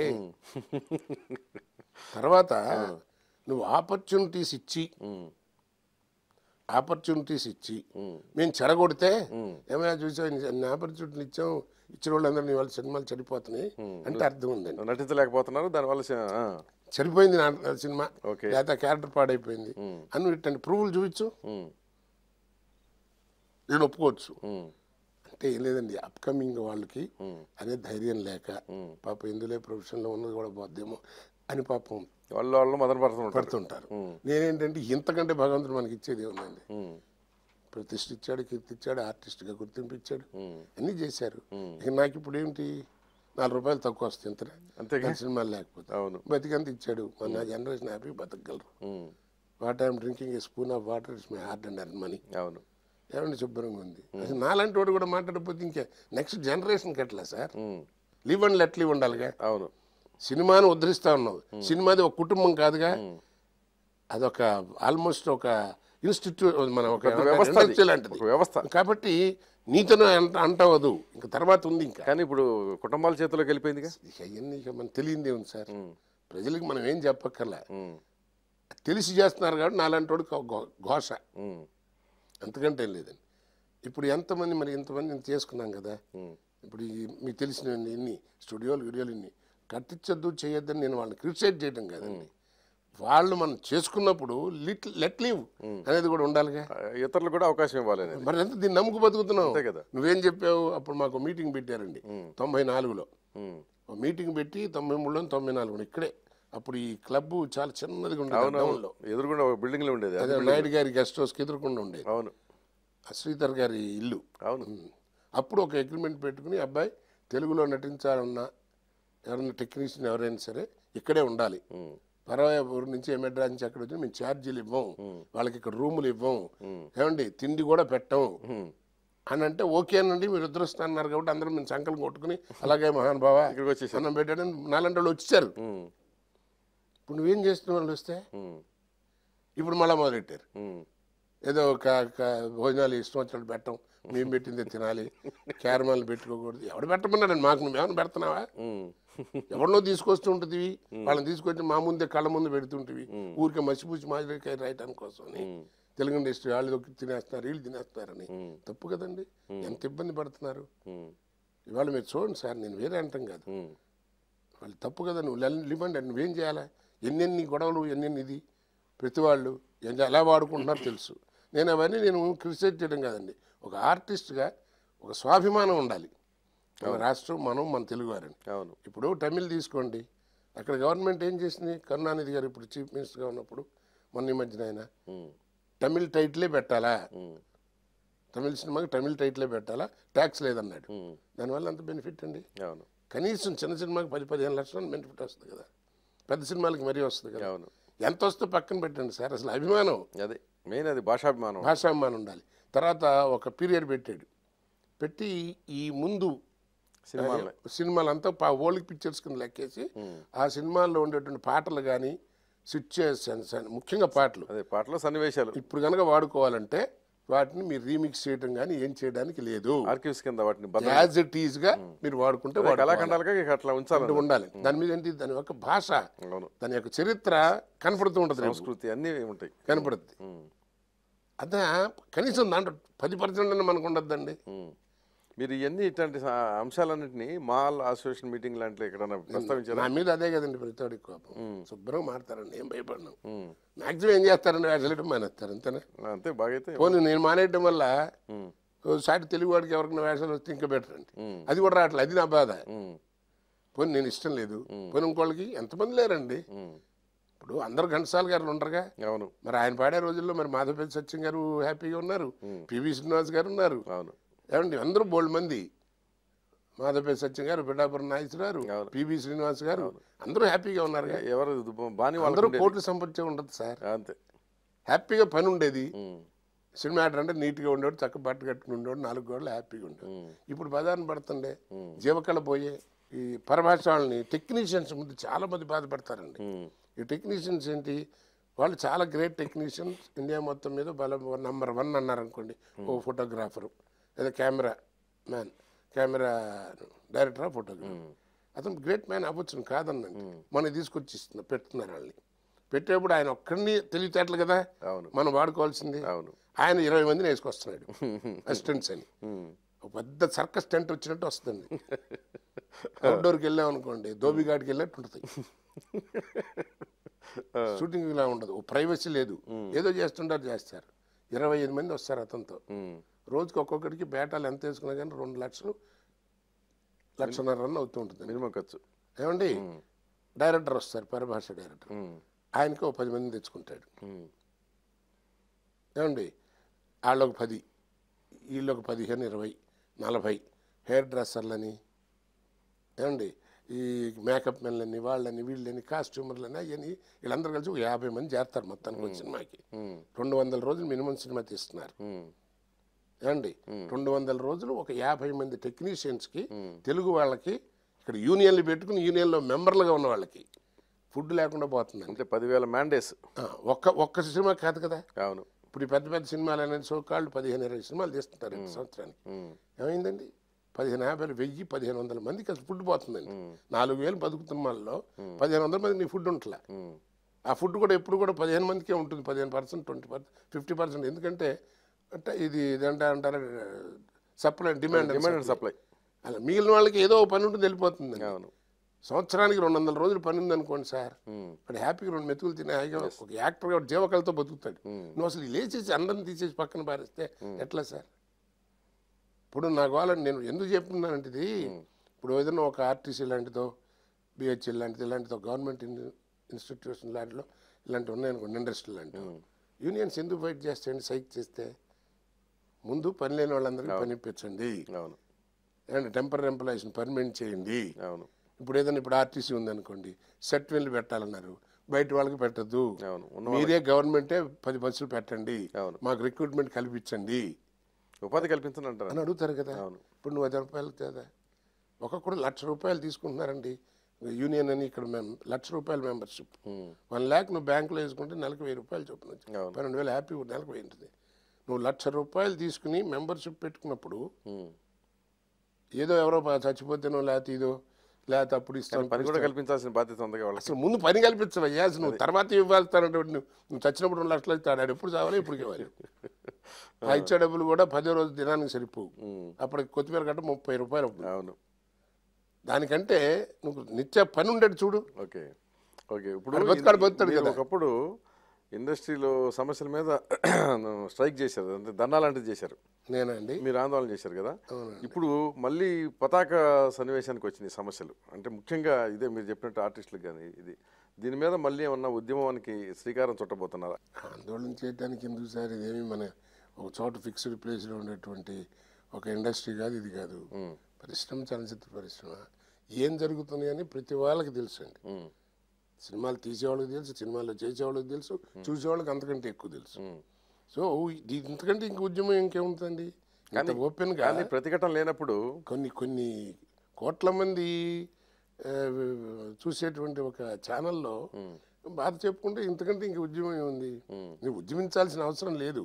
ఎందుకంటే ఉద్యమానికి వెళ్దాం రండి అన్నాం అనుకోండి. పాపం ప్రతివాడికి భయం వస్తుంది. ఎందుకు ఆయన పక్కన వెళ్ళాం అనుకోండి కూడా పోద్దేమో అదే వేషాలు రావని. ఉంటుంది కదా. అందువల్ల నేను చెప్తున్నానంటే ఆయనకేమో ఆయన కడుపు నిండి బేరం. బేరం అంటుంటాను అంటే నేను ఎంత కష్టపడి వచ్చామన్న సంగతి ఇంత వచ్చినా కానీ ఆయనకు మాట్లాడుతున్నారా అనేది మనసులో ఉంటుంది. ఏం లేదు సార్ అందరి నోట్లో నా అంత ఉండేది నా నోట్ నుంచి బయటకు వచ్చింది అంతకన్నా తేడా లేదు. అందరి మనసులో ఉన్న అభిప్రాయం ఇదే. దీనికి పెద్ద ఉద్యమం ఎందుకండి కోటి కూడా నండి వృత్తి కళాకారుల్ని పోషిస్తాం అని ప్రభుత్వాలు అన్ని పార్టీలు అన్ని చెబుతుంటాయి. మరి ఇది కూడా ఒక వృత్తి కళాకారుడే కదా. అవును. ఏమండి? అవును. మరి చూడండి ఎంత చేస్తున్నారు. ఒకప్పుడు రికార్డింగ్ డాన్సర్లు అని ఉండేవారు మీ చందాలు మీరు కూడా చూసుంటారు. రామారావు లాగా అవును. నాగేశ్వర లాగా అవును. కృష్ణ గారి లాగా శోభన్ బాబు గారి లాగా చేసేవారు. కొంచెం అంత దూరం నుంచి చూస్తే కరెక్ట్గా ఆలే ఉంచినంత కరెక్ట్గా ఉండేది. అవును. వాయి వాచికలు లేకపోయినా డాన్సులు కరెక్ట్గా పెట్టి రికార్డింగ్ డాన్స్ పెట్టారు. కొంతకాలం వచ్చిన తర్వాత ఏం చేశారంటే వీళ్ళు డాన్సింగ్ చేసి వీధి వీధికి చేసి మన కొంచెం కించపరిచే పద్ధతిలో ఉంది మన చీప్గా ఉంటుంది. కాబట్టి అది మాకు కట్ చేయడానికి లేదని అడిగితే బ్యాన్ చేశారు. రికార్డింగ్ డాన్సులు బ్యాన్ చేయించుకున్నారు. చేశారు. ఇప్పుడు టీవీ ప్రోగ్రాంలో చూడండి. అవును పది పన్నెండేళ్ళ పిల్లలతో కూడా ఆ వ్యాంపులు పాడినటువంటి పాటలు డ్రెస్సులు వేయించి వాళ్ళు పాడిస్తున్నారు ఇప్పుడు రామారావు నాగేశ్వర లాగా అందరూ ఇమిటేట్ చేస్తున్నారు. మా సినిమా వాళ్ళే చాలా మంది వెళ్ళి తప్పట్లు కొట్టి ఆ ప్రోగ్రామ్ గెస్టులు జడ్జిలు. జడ్జిలు. జడ్జిలు. అందరూ వాళ్ళే చేస్తున్నారు. మరి తెలిసి తెలియ చేస్తున్నారా? తెలుసు కదా. డబ్బులు వస్తాయి డబ్బులు వస్తాయి. సరే ఏదైనా కానివ్వండి. గ్లామర్ కోసమో లేకపోతే పది మందికి తెలియాలి నేను ఇంకా బాగున్నానని దేనికైనా కానీ. బతుకున్నానని కానీ. నేను ఎక్స్పోజర్ నేను తెలియాలి పది మందికి అనేది కానీ. వస్తుందండి. కాబట్టి ఇది తెలియందేం కాదు గురుగారు. మరి వాళ్ళని కూడా పోషించాలి కదా మనని. మనది కూడా ఇది ఒక వృత్తే కదా. అవును. మరి కళాకారుల కోసమే కదా. ఇది ఒక వృత్తి అనుకోబట్టే కదా మరి ఇన్ని గవర్నమెంట్ ఇంత హెల్ప్ చేసింది మనకి. అది ఏ గవర్నమెంట్ చేసిందని పక్కన పెట్టేయండి. దేన్నైనా మనం మిస్యూజ్ చేసుకోవడం తప్పు కదా. అవును. మన సొమ్ము సార్ ఇదే. కరెక్ట్ ప్రజలది మంది. అది. కదండి. అది మనసులో పెట్టుకోవాలండి. దానికి ఇక చిలవల పొలవలుగా మాట్లాడటం ఇదండి. నా రిక్వెస్ట్ ఒకటే సార్. ఏమీ లేదు. చక్కగా పని చేసుకుని పది మందికి పని ఇవ్వండి. ఇది ఇక్కడ పని ఇస్తాము. పని చేయించడానికి మన రాష్ట్రంలోనే మనం చిత్ర పరిశ్రమని డెవలప్ చేస్తామని మీరు అని దాన్ని వాగ్దానం నిలబెట్టుకోమని కోరుతున్నాను. అంతకంటే ఓకే. కానీ ఇక్కడ ఇంకొకటి ఉంది కాంట్రడిక్షన్ మీ విషయంలో అవతల వాళ్ళు అనేది ఏంటంటే ఈయన మాత్రం వేరే భాష సినిమాలో నటించవచ్చు కానీ వేరే భాష వాళ్ళు ఇక్కడ నటించకూడదా అని. రైట్ దానికి నిజమేనండి. రెండు అడుగుతాను నేను నేను వెళ్ళి చేయడం మానేస్తాను. మీరు పెట్టుకోవడం మానేస్తారా? ఓకే. మానేయండి. అంతకంటే నాకు కావాల్సింది ఉంది రెండు ఎవడో అక్కడ నూట యాభై రెండు వందలు సినిమాలు తీస్తుంటే తమిళనాడు కన్నడ లేదా హిందీ తీస్తుంటే ఎన్నిసార్లు ఎప్పుడో ఒకటో రెండో సినిమా నన్ను పిలుస్తున్నారు. అది కూడా ఎలాగా వాళ్ళు నాకు ఫోన్ చేస్తారు. నాకేం ఫోన్లు ఎవరన్నా చేసి నాకు ఇంత కావాలి నాకు ఈ ఫెసిలిటీస్ కావాలి అని యాక్సెప్ట్ చేసిన వాళ్ళకే వెళ్ళి పనిచేస్తున్నా ఓకే. ఏమండి? దానివల్ల ఎవరికి నష్టం? ఒక ఆర్టిస్ట్కి నష్టం. పోనీ అది కూడా చేయొద్దని మానేస్తా. పోనీ నేను ఎందుకు చేయటం తప్పు అంటారేమో అంటే నువ్వు తీసుకొచ్చి ఇచ్చినంత వాళ్ళు ఏమి ఇవ్వరండి ఎవడు. మనం బయట వాళ్ళని తీసుకొచ్చి ఇచ్చేదంటే పదో వంతు కోట శ్రీనివాసరావుకి ఎవరు? ఎక్కడ? అక్కడ. తమిళనాడు కానీ తమిళనాడు ఎక్కడైనా సరే పదో వంతు ఇవ్వరు. పైగా అసలు మనం వాళ్ళకి ఇచ్చే ఫెసిలిటీస్లో ఫిఫ్టీ పర్సెంట్ కూడా ఫెసిలిటీస్ మనకి ఎవరు అడిగితే వద్దులేండి సార్ నమస్కారం అంటారు. నేను చెప్పేది అది. నేను ఒక్కడనే పని చేస్తున్నాను ఇంత బాధపడుతున్నావు నువ్వు. మేము. ఎంత బాధపడాలంటే వందల మందిని నోరు కొట్టి అవతల వాళ్ళని తీసుకొచ్చి పెడుతున్నావే. మేమేమనుకోవాలండి? కానీ విచిత్రంగా ప్రకాష్ రాజ్కి తమిళ సినిమాల్లో వేషాలు ఉండవు ఎందుకని? అది ఏం చెప్తాను సార్ మన దానికి అక్కడ వాతావరణం మనకేం తెలుస్తుంది? తెలియకుండా ఉండదు నిజంగా నాకు నేను పట్టించుకోను సార్ అట్ట. ఇక్కడ కొంచెం లౌక్యం ప్రదర్శిస్తున్నారు. కానివ్వండి దానికేం తప్పేం లేదు. కానీ మంచి ఆర్టిస్ట్ అతను కాదని ఎట్లా అంటామండి నేను చెప్పాను కదండి ఇప్పుడు పెద్ద గుమ్మడికాయ అంత టాలెంట్ ఉంటే కుదరదండి. ఆవగిందంత అదృష్టం కూడా ఉండాలి. ఉండాలి కరెక్ట్. ఆ రెండు టచ్ అయినాయి అతనికి. ఓకే. టాలెంట్తో పాటు అదృష్టం కూడా ఉంది. So is getting more chances అట్లాగే నేను కూడా క్యాడర్ అనుకోండి. అలాగే ఇప్పుడు తనికెళ్ళి భరణి గారు ఉన్నారు. బ్రహ్మానందం గారు ఉన్నారు. మొన్నటిదాకా ఇప్పుడు తగ్గిన కానీ బాబుమోహన్ గారు ఉన్నాడు. ఉమ్, తర్వాత అసలు ఒక్కటి మాత్రం చేయలేకపోతున్నారండి. భారతదేశంలో ఏ లాంగ్వేజ్లో అయినా మన తెలుగులో ఉన్నంత మంది number of comedians variety comedians ఏ భాషలో లేరు. అవును ఇంతమంది లేరు. లేదండి అందువల్లే ఆ క్యాడర్ని కొంచెం ఇబ్బంది పడకుండా బతుకుతున్నారు వాళ్ళు దానితో ఇలాంటివి మీ మీ టీవీలు లాంటివి వచ్చినాయి. ఈ టీవీలు కసి ప్రోగ్రామ్స్ అవి ఇవి సీరియల్స్ అవి ఉండటంతో. ఒక రకంగా కొంచెం ఇబ్బంది లేకుండా ఉంది. ఇబ్బంది లేకుండా ఉంది. కొద్దిగా అండి. అది కూడా కొంత పర్సెంట్ ఎవరికైనా. అదే అదే. లేకపోతే ఏమైపోతాను నేను అడిగేది అంతకంటే ఏం లేదు సార్. నేనేమంటానంటే నువ్వు ఇన్ని ఇచ్చి సినిమాలు ఇచ్చి ఇప్పుడు సరే. తర్వాత పరభాష వాళ్ళు ఇప్పుడు నేను ఉన్నాను సార్ నాకు ఎవరు లేడు. ఆ డైరెక్టర్ మారుతాడు లేకపోతే ప్రొడ్యూసర్ మారుతాడు నాకు ఇంతకాలం మారుతాను ఇప్పుడు అట్లా కాదండి. మేనేజర్లని ఇక్కడ కొంతమంది ఉంటారు. వాళ్ళకి. వీళ్ళందరూ ఈ పరభాష వాళ్ళందరినీ చూస్తుంటారండి. వాళ్ళకి రేట్లు పెంచి ఒక్కొక్కడికి. నీ కళ్ళ ఎదురకుండా ఉన్నటువంటి తెలుగు ఆర్టిస్ట్కి పది రూపాయలు లేదండి సార్ అని వాళ్ళు కూడా నెంబర్ ఆఫ్ పిక్చర్స్కి వాళ్ళు డేట్లు చూడటం వాళ్ళకి ఒక మేనేజరు వాళ్ళకి ఒక పర్సంటేజ్ ఆఫ్ ఇది పేమెంట్లు ఇవి రెమ్యునరేషన్ పెంచితే ఈయన కూడా పర్సంటేజ్ పెరుగుతుంది ఈయనే పెంచుతాడుగా ఒక రకంగా. వాళ్ళు కావాలనుకుంటే ఏదైనా కానీ నేను ఏమంటానంటే నువ్వు చెయ్యొద్దని నేను అంటలేదండి చెయ్యొద్దని నేను అంటలా అవతల వాడు పొట్టగొట్టద్దు అది నేను ఓకే. ఉమ్. ఇవ్వండి లెట్లు ఇందా నేను చెప్పాను అదే ఇక్కడ వాళ్ళకి అవకాశాలు కల్పిస్తూ వేరే వాళ్ళకు కూడా ఇవ్వండి. ఇవ్వండి. అవసరమైతే ఇవ్వండి. అదే. ఇప్పుడు సినిమా చూస్తే మీకు అనిపించదు సార్. అవును. ఈ వేషాలు ఎందుకు వీళ్ళందరినీ పెట్టారని. కదండి? అందరూ నాన్ తెలుగుస్ ఉంటారు.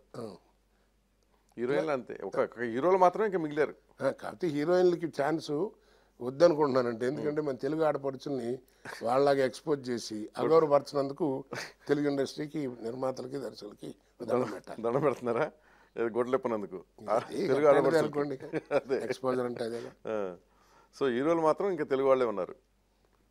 నేను చెప్పాను కదా సార్ ఇక వాళ్ళు వాళ్ళదంతే ఇక అది ఒక ఒక ఇది కదా. దాన్ని మనం అంటే కోపం అండి. అదే మీరు అనేది మీ దృష్టిలో ఒక ఐదు కుటుంబాలు కనుక నాలుగో ఐదో కుటుంబాలు. ఏం లేదు సార్ ఇది ఈ- ఈ వ్యవ ఈ ఇబ్బంది మారాలంటే ఎవరేమనుకున్నా ఈ కుటుంబాలు గిట్టుమాలు పక్కన పెట్టండి సార్. పక్కన పెడితే బాగా ఇవాళ వ్యాపార రీత్యా చేసేట్టు కానీ ఏదైనా కానీ డామినేటింగ్గా ఉన్నది ఒక ఆరుగురు ఏడుగురు హీరోలు ఉన్నారండి. మిగిలిన వాళ్ళు ఉన్నారు కానీ అంతంత మాత్రమే. అలాగే డైరెక్టర్లుగా ప్రాపగండి వాళ్ళు ఏమేమి తీశారు ఎంత ఖర్చు పెట్టేస్తున్నారు వాళ్ళు అసలు టాలెంట్ ఏంటి అది పక్కన పెడితే ఇవాళ గుర్తింపు పొందినటువంటి చెల్లుబాటు అవుతున్న వాళ్ళు ఒక ఐదు ఆరుగురు ఉన్నారు. ఐదు ఆరుగురు డైరెక్టర్లు ఉన్నారు. వీళ్ళిద్దరు కనుక తలుచుకుంటే తెలుగు ఇండస్ట్రీలో ఎవరికి ఇబ్బంది ఉండదు సార్. వీళ్ళందరితో పాటు ప్రొడ్యూసర్ గారు. డబ్బులు పెట్టేది ఆయన. మన దుస్థితి ఎలా వచ్చిందంటే ఇవాడు రామానాయుడు గారు ఉన్నారు. రాజన్ ప్రసాద్ గారు ఉన్నాడు. అండ్ ఇలాంటి వాళ్ళు కొన్ని మంది ప్రొడ్యూసర్స్ ఉన్నారు. మన వాళ్ళ దగ్గర నుంచే నాయుడు గారి సినిమాకి మాడుతున్నాను అంటున్నాను ఉమ్, ఇప్పుడు అసలు ప్రొడ్యూసర్ అనేటువంటి వాడికి వాళ్ళు మమ్మల్ని ఏమా ఇదేంటి ఇదేంటి? వాటి తీసినట్టు ఎందుకు చేస్తున్నట్టు ఎందుకు రావట్లేదు? అని అడగాల్సిన వాళ్ళు వాళ్ళు ఇవాళ మీకు తెలియదు ఏముందండి ఇంటర్వ్యూలు టీవీల్లో వాటి పడి మా ప్రొడ్యూసర్ ఏంటి? అసలు వాటి ఇది అని అడుగుతున్నారంటే ఎంతకంటే దౌర్భాగ్యం ఉంది సార్. అంటే ఎలాంటి దుస్థితిలో ఉంది ఇండస్ట్రీ ఆలోచించుకోండి. నా రిక్వెస్ట్ అది. పెట్టేవాడు ఎంప్లాయర్ ఎంప్లాయ్. ఆ తేడా ఎప్పుడూ ఉండాలి. అది లేకపోతే ఎట్లా? అవును. సో ఈ ముగ్గురు కలుసుకుని ఒక రకంగా నాయన భగవంతుడు మనకి ఇచ్చినందుకు చక్కగా మనంతా హ్యాపీగా ఉన్నాం. మనం ఇంకా ఎదుగుతాం. మనతో పాటు వెనకాల ఉన్న వాళ్ళం మన వాళ్ళందరినీ వాళ్ళని కూడా ముందుకు తీసుకెళ్తాం తీసుకున్న రోజు హ్యాపీగా బతికేట్టుగా ట్రై చేద్దాం అనేటువంటిది ఒక సహృదయంతో వాళ్ళ ముగ్గురు కూర్చొని మాట్లాడుకుంటే ఈ గొడవలన్నీ ఏముండవండి. ఇంత సీనియర్ నటుడు కదా మీరు. ఓపెన్గా నలుగురిని పిలిచి చెప్పొచ్చు కదా ఇది. ఏదండి? ఇట్లాంటిది ఇదే ఇట్లా ఎందుకు చేయరు మీరు అని చెప్పి. ఎందుకు నేను బయట అందరితో చెబుతూనే ఉంటాను ప్రొడ్యూసర్స్ అందరితో మాడుతూనే ఉంటాను. నా మాటలు ఏది తేడా లేదు సార్ నేను వాళ్ళతో ఇప్పుడు ఇంటర్వ్యూలో చెప్తున్నాను కదా ఇవన్నీ వాళ్ళతో మాట్లాడిన మాటలే. వాళ్ళు ఇప్పుడు చూశారనుకోండి రేపు ఇది రోజు ఉండే సోదాలేరా కోట శ్రీనివాసరావు అనుకుంటారు అంతేనా. కాబట్టి. నా రిక్వెస్ట్ ఏంటంటే వాళ్ళ ముగ్గురు తలుచుకోవాలి. లే ఇంకోటి. ఏ గవర్నమెంట్ అయితే ఏ ప్రభుత్వం అయితే మనకి అండగా ఉంటామో. మీరు రండి. అని మనం వాళ్ళ అండ చూసుకుని మనం వచ్చి వారి సహాయాన్ని మనం ఏదైతే పొందామో ఆ గవర్నమెంట్ అన్నా కల్పించుకోవాలి ఆ గవర్నమెంట్ అని కల్పించుకోవాలి తమిళనాడు లాగా తమిళనాడు కల్పించుకుని ఏం చేయాలంటే నా రిక్వెస్ట్. ఇప్పుడు ఏదో ప్రింట్ల మీద ఇట్లా ట్యాక్స్ రేట్ అది అట్లాంటివి ఏదైనా అవి ఇంపార్టెన్స్ కాదండి. నా ప్రకారం. సినిమాని సినిమాగా తెలుగు సినిమా తీస్తూ నూటికి నూరు శాతం తెలుగు తెలుగు రాష్ట్రంలో తెలుగు నటీనటుల్ని తెలుగు సాంకేతిక నిపుణుల్ని పెట్టుకుని తీసినటువంటి తెలుగు సినిమాలకే పన్ను గవర్నమెంట్ సంగతి నుంచి మీరు ఏదైనా రిక్వెస్ట్ చేసినా మేము శాంక్షన్ చేస్తాం. పన్ను రాయితీలు ఇస్తాం అనేది. ఏదైనా ఒక రాయితీ. ఏదో వాళ్ళు ఇచ్చే యాజ్ ఈస్గా ఉండేటువంటి ఏదో ఒకటి. ఏది ఇవ్వాలనుకుంటే అది. ఇస్తున్నాయి ఇప్పుడు అడుగుతున్నటువంటి రాయితీలు ఇవ్వడానికి కానీ ఇంక్లూడింగ్ నంది అవార్డ్స్ అనేది పెట్టి అలా పెడితే ఇప్పుడు ఎందుకంటేనండి యాక్చువల్గా తెలుగు వాళ్ళని మన కుర్రాళ్ళని మన నటీనటుల్ని బతికిచ్చేది ఆ టెన్ పర్సెంట్ ట్వంటీ పర్సెంట్ ఉన్న సినిమాలు కాదండి. పెద్ద సినిమాలు అంటున్నట్టు వాళ్ళు కాదండి. ఏదో ఎక్కడో ఆ కమెడియన్స్ కాంట్ పట్టయి అవును. ఏమండి? ఇది పెట్టుకోవడం తప్ప మిగిలిన వాళ్ళందరం బతుకుతున్నది ఆ ఎయిటీ పర్సెంట్ చిన్న సినిమా మీద సార్. ఏదో కింద మీద పడుతున్నారు పడుతున్నారు చేస్తున్నారు. అవును. నేను ఒకళ్ళు నిందించడం కాదు. ఇది దీన్ని ఏమంటారంటే డిమాండ్ అండ్ సప్లై. సరే వాళ్ళకి డిమాండ్ ఉంది. కాబట్టి నీకు ఉంది నువ్వు అన్ని రకాలు బాగున్నావు కాబట్టి మాకంటే కాస్త మాకు కూడా సహాయం చేయటం అని అడగటం. ఓకే. మనది మన మామూలుగా డిస్కషన్ వచ్చినప్పుడు కొంచెం హార్డ్ అండ్ దీనిగా మనం మాట్లాడుకోవడం తప్ప ఇది జనరల్గా అందరికీ రావాల్సిన విషయం సార్. ఇది ప్రభుత్వం అందరి మనసులో ఉన్న మాట కూడా ఇదే ప్రభుత్వం కల్పించుకుని దీనికి ఏదో ఒకటి చేయాలండి. లేకపోతే చాలా ఇబ్బందులు పడతారు. భవిష్యత్తులో తెలుగు తెలుగుదనం పోతుంది.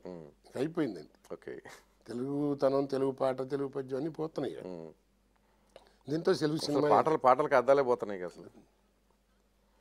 ఇప్పుడు ఇప్పుడు వస్తున్న పాటలకి సాహితీ విలువలు ఏమున్నాయి ఏమున్నాయండి? ఇప్పుడు ఏం లేదండి. Fill up the blank blanks with suitable words in any language ఏ పదం ఏ భాష పదమైనా వాడే సరే మన గ్యాప్లో ఎస్ఎల్సీ వాటిలో ఇస్తారు కదా ఇచ్చేవారు మనకి. ఫిల్ ఇన్ ది బ్లాంక్స్ అని. అవును. విత్ సూటబుల్ వర్డ్స్ అవును.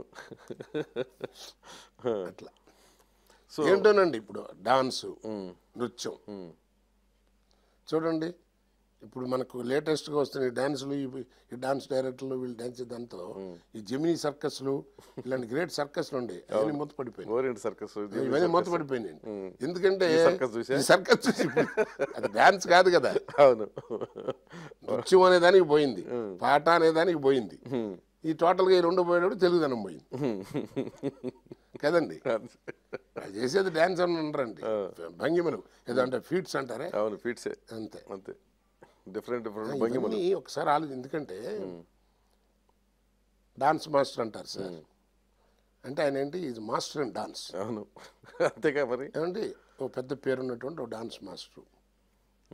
అతనికి సినిమా డైరెక్షన్ అంటారు. యాక్చువల్గా ఆలోచించుకుంటే ఏదైనా క్యారెక్టర్ ఏదైనా అనుకోండి. ఏంటంటే ఇప్పుడు మీరు అట్లా వెళ్తున్నారు కోట శ్రీనివాసరావు ఇల్లు. బాగుందిరా మంచి ఆర్టిస్ట్ పాపం చక్కగా సెటిల్ అయ్యి కష్టపడ్డాడు అంటారు బజార్ చివరికి వెళ్ళేవాడు నేను సినిమా చేస్తున్నాను డైరెక్షన్ చేస్తాను తెలిసింది అనుకోండి. వాళ్ళు తిరిగి వచ్చేవాడు ఆ ఇట్టని బంగ్లాలో కూర్చోక ఇక్కడికి ఏం పోయినా ఇది సినిమా ఎందుకురా? డైరెక్షన్ ఎందుకురా? అంటారు. మన తోటి వాళ్ళే. తోటి వాడిని అలాంటిదప్పుడు is a master in dance. అలాంటి మాస్టర్ డాన్స్ వాడిని అతన్ని ఒక సినిమాలో ఆరు పాటలు ఉంటే ఆరు పాటలు పెట్టుకోరండి. రెండు పాటలకే పెట్టుకుంటారు. అవును. Master in dance master in dance అన్నవాడికి అతని వృత్తిలోనే ఫుల్ పాటలు ఉన్నవాడికి ఫుల్ ఎంప్లాయ్మెంట్ రావట్లా. రావట్లే అసలు ఇవ్వట్లా నువ్వు. అలాంటిది నువ్వు ఫుల్ డైరెక్షన్ సినిమాకి ఎట్టిస్తావని నాకు అర్థం కాదు. ఫుల్ సినిమాకి డైరెక్షన్ ఇస్తే. ఉమ్, ఎంత ఆశ్చర్యం అండి ఇది డైరెక్షన్ అంటే మామూలుది కాదండి. అవును. డైరెక్టర్ అంటే ఈ must be very good accountant లెక్క.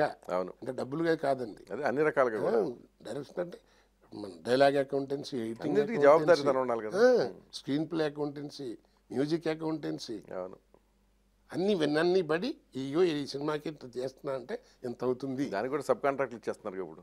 చెప్తున్నానండి నేను. అట్లా ఉండి ఉండేటి అందుకే మహానుభావులు ఇప్పుడు ఎందుకు సార్ మన తెలుగు సినిమాలు? ఉమ్, మన స్టూడియోల్లోకి రోడ్ల మీద మనం ఎప్పుడైనా ఓ పెద్ద పెద్ద ఆఫీసులకి వాటికి వెళ్ళామనుకోండి సినిమా ఆఫీసులకి వాళ్ళ గ్రేట్ సక్సెస్ఫుల్ మూవీస్ అన్నీ కెమెరామెన్లు మన వాళ్ళే మ్యూజిక్లు మన వాళ్ళే యాక్టర్లు మన వాళ్ళే.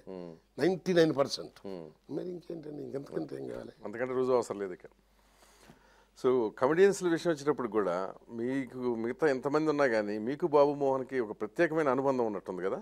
అప్పట్లో అండి ఇప్పుడు కొంచెం తగ్గింది. కానీ కొన్నాళ్ళు మాత్రం ఒక పది సంవత్సరాలండి. అసలు చాలా సినిమాల్లో అండి ఒక మా ఇద్దరు కాంబినేషన్ మీద బాగా సక్సెస్ అయిన సినిమాలు ఒక యాభై దాకా ఉంటాయి. అదే పైగా అతన్ని మీరు తనడం కూడా ఒక సెంటిమెంట్గా నిజంగా ఆ విషయంలో గ్రేట్ మ్యాన్ అండి. నేనైతే నిజాలు దండించుకోను కమిటెడ్గా చేస్తాను నేను తన్నప్పుడు కూడా అతను కూడా టైమింగ్ బాగా కుదిరేది అనవసరం ఊరికే కావాలి. తనడం కోసమే సీన్ పెట్టినా షార్ట్ పెట్టినా కావాలని ఏదో యాక్సిడెంట్గా తన్నేటి అట్లాంటిది ఉండేది కాదండి. ఇద్దరికి కోఆర్డినేషన్ కరెక్ట్గా ఉండేది. చక్కగా మంచి అతను మంచి టైమింగ్ ఉన్న ఆర్టిస్ట్ అండి. ఇప్పుడు అదే చెప్తుంటాను ఎప్పుడు. ఇండస్ట్రీలో టైం బాగున్న వాళ్ళు ఎక్కువైపోయారండి. టైమింగ్ ఉన్న వాళ్ళు తక్కువైపోయారు. సో ఆయనేమో తెలంగాణ మీరేమో ఆంధ్ర. మీ ఇద్దరి మధ్య ఇది ఎప్పుడు రాలేదా? రాదండి. అసలు నేను చెప్తున్నా కదా గురుగారు నాకు అసలు అట్లాంటి బ్రెయిన్లో ఉండవు సార్. అదే ఒకటి నా సక్సెస్ కారణం. మనం బతుకుతూ పది మంది బతకాలి. అది. మిగతా అన్నీ అనవసరం. అది ఏ ప్రాంతం ఏ కులం దాని కులాలు ఎందుకు ఉంటాయి? అసలు అవసరమే ఉంది. ఇప్పుడు అట్ట అనుకుంటే బాగుమోనికి నేను పాడంతగా అవును. నేను యాక్చువల్గా ఇద్దరం కలిసి ఒక కంచులు ఆనందం రోజులు ఉన్నాయి.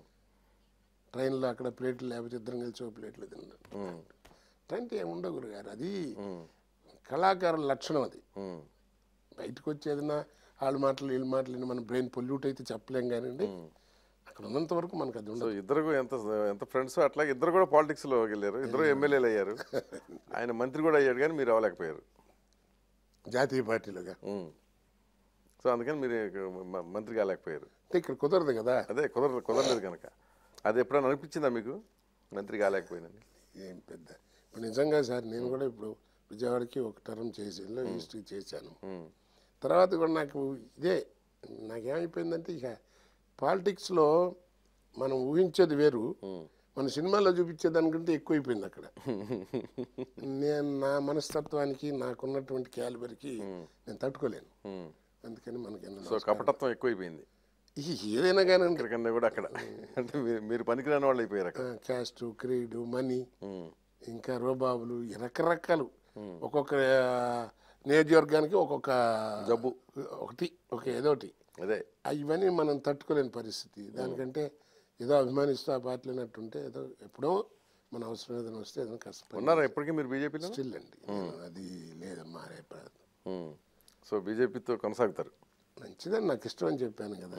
దాని గురించి మంచి చెడ్డలు డిస్కస్ చేయటం కూడా నేను పట్టించుకున్నాను ఇంకొకటి మీ మీద ఏంటంటే మీ సహచరులు వినిపించే విమర్శ సినిమా టైటిల్స్తో సహా సెట్లో ఉన్న వాళ్ళందరి మీద సెటైల్ వేసి కొంచెం మనసు కష్టపెట్టిస్తారని. మిగిలిన వాళ్ళ మీద మన కాదని సినిమా టైటిల్స్ మీదే ఉంటాయండి. ఇట్స్ ఫ్యాక్ట్ అది మనసు ఖర్చు పెట్టుకునే వాళ్ళు తప్పండి. ఎందుకంటే నన్ను వాళ్ళే అడుగుతుంటారు. ఏంటి నా సినిమా మీద సెటైర్ ఏంటని అడుగుతారు. ఆహా, అని చెప్తూ ఉంటా. తర్వాత అండి ఉన్నది మాత్రం నిజమండి. సక్సెస్ అయిన సినిమాని అసలు నేను ఎప్పుడు కామెంట్ చేయను తప్పు కదా అది. అవును.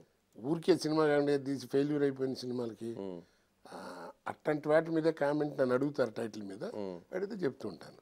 తప్పు జనరల్గా టైం పాస్ ఏదో ఒకటి రెండు చెప్పండి అయ్యి. అంటే ఎలా ఉంటుందంటేనండి పాత సినిమాల్లో మనం చూసినంటే ఇంట్రెస్ట్కి వచ్చిన సినిమా పేరు ఎస్పి పరశురామ్ అని పెట్టారు అవును. పోలీసు. అదే సైమల్టేనియస్గా దాని తర్వాత సూపర్ పోలీస్ అని ఒకటి వచ్చింది. అవును.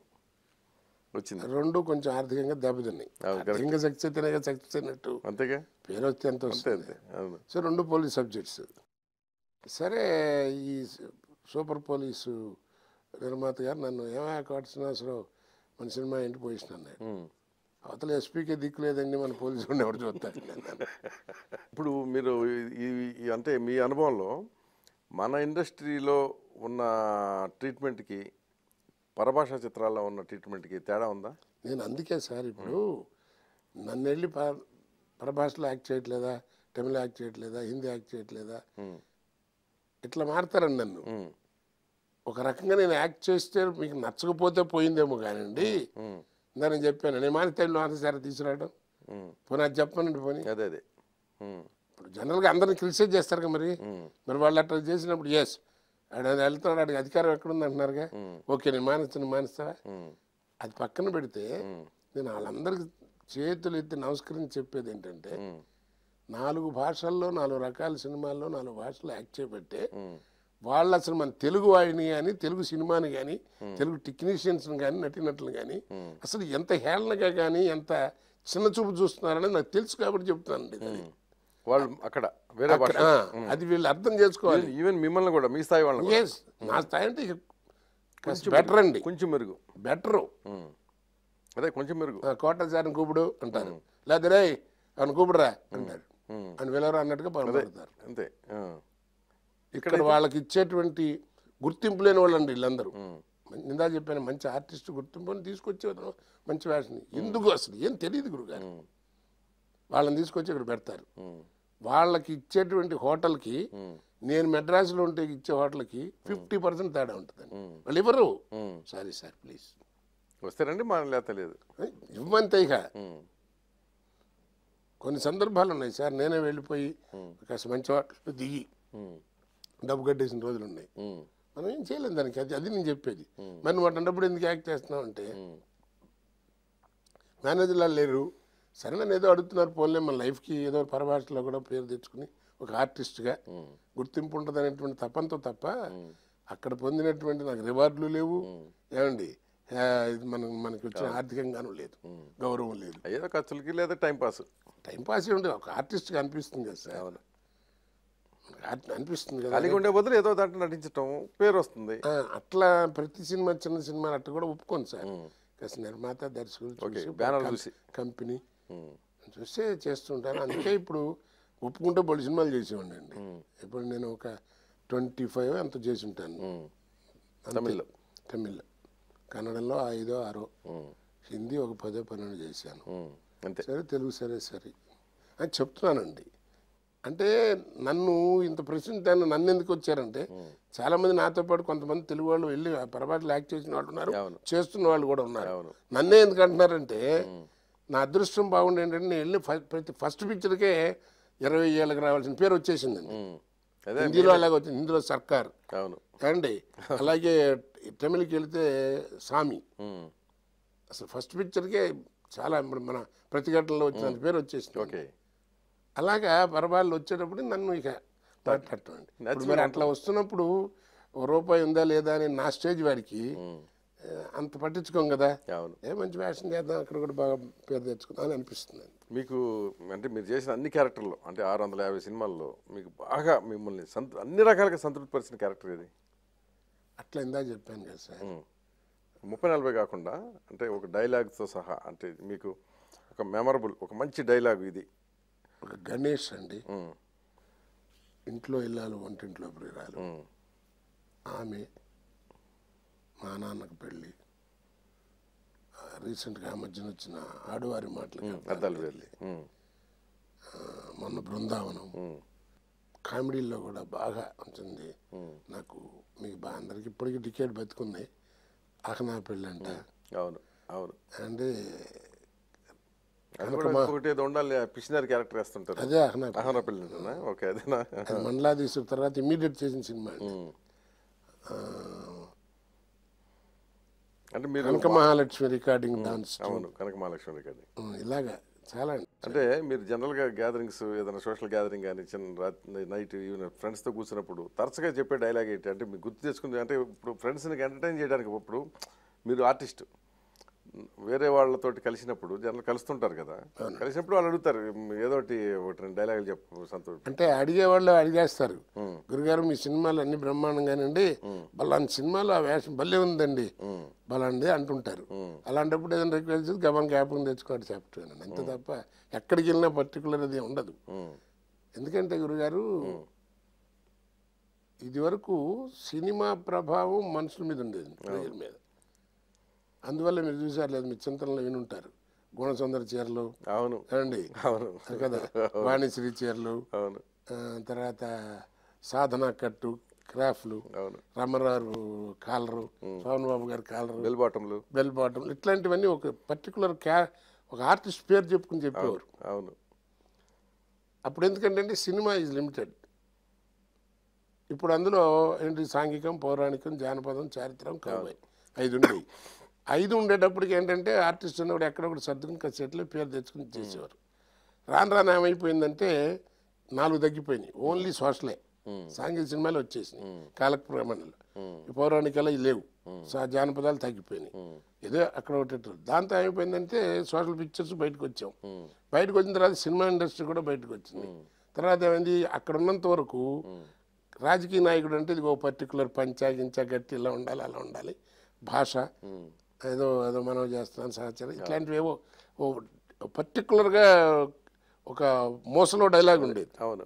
కమెడియన్ అంటే అలా అవునవును. ఇప్పుడు మనం శబ్ద వయసుడు వేషం ఇచ్చాం అనుకోండి బొంగురు గొంతు మాట్లాడటం. ముస్లిం క్యారెక్టర్ అయితే ఏదో మాకి మీకి అని కలపడం ఇలా ఒక టిపికల్గా ఉండేదండి. అవును. ఇప్పుడు అట్లా కాదు సార్. ఇప్పుడు మనుషుల ప్రభావం సినిమాల మీద పడిపోయింది. ఇప్పుడు నేను కనీసం నూట యాభై సార్లన్నా నూట యాభై రెండు వందల సినిమాలన్నా నేను పొలిటికల్ క్యారెక్టర్లు వేసుకున్నాను అవును. ఏమండి ఏదో అంత ఏదో క్యారెక్టర్. అట్లా చేయడానికి కుదరదండి. ఇప్పుడు ఎందుకంటే మనం ఏదైతే మనం ఇమిటేట్ బలాలనుకుంటున్నామో వీళ్ళందరూ ఇవాళ పాలిటిక్స్లో ఉన్నారు. కరెక్ట్. తర్వాత రోజుకో రకమైనటువంటి డైలాగు. మారిపోతున్నాయి. మారిపోతున్నాయి. రకరకాల అవును. రకరకాల పోస్టర్లు అవును. రకరకాల భాషలు. అవును. ఈ రావడంతో ఏమైందంటే మనకి ఇక బలాంది అనేది లేదండి. అందువల్లే ఒక సినిమాలో ఒక తెలంగాణ ఒక సినిమాలో ఇంకోటి ఒక సినిమాలో నెల్లూరు యాస ఒక సినిమాలో ఒక మన కృష్ణ యాస ఇట్లా. అదే. అంటే వైవిధ్యం ఉండాలి కదా ఎట్లాగో. దానికోసం అన్ను అయిపోయిందండి. కాబట్టి ఈ వేషం వేయలేకపోయాను అనేది లేదు ఇప్పుడు. సో ఇప్పుడు సరదాగా ఒకటి అడుగుతాను చెప్పాలి. మామూలుగా ఈ సినిమాల్లో ఏంటంటే శృంగారం హీరోలు హీరోయిన్లతో శృంగారం పండిస్తారు. మీరేమో విలన్గా వాళ్ళని ఏడిపిస్తుంటారు. తెర వెనక ఏం చేస్తుంటారు? ఆ ఛాన్స్ మనకి ఎందుకు వస్తుంది ఎందుకు వెనక సినిమా వాడిగా రాదుగా? ఒక కోట శ్రీనివాసరావు కూడా రావచ్చుగా? సినిమా. కోట శ్రీనివాసరావు బయట మనం కలిసే ప్రసక్తి లేదు కదండి. ఇప్పుడు నా వరకు నేను యథార్థంగా చాలా మంది కూడా అట్లాగే ఉంటారు. Ninety percent. ఓకే.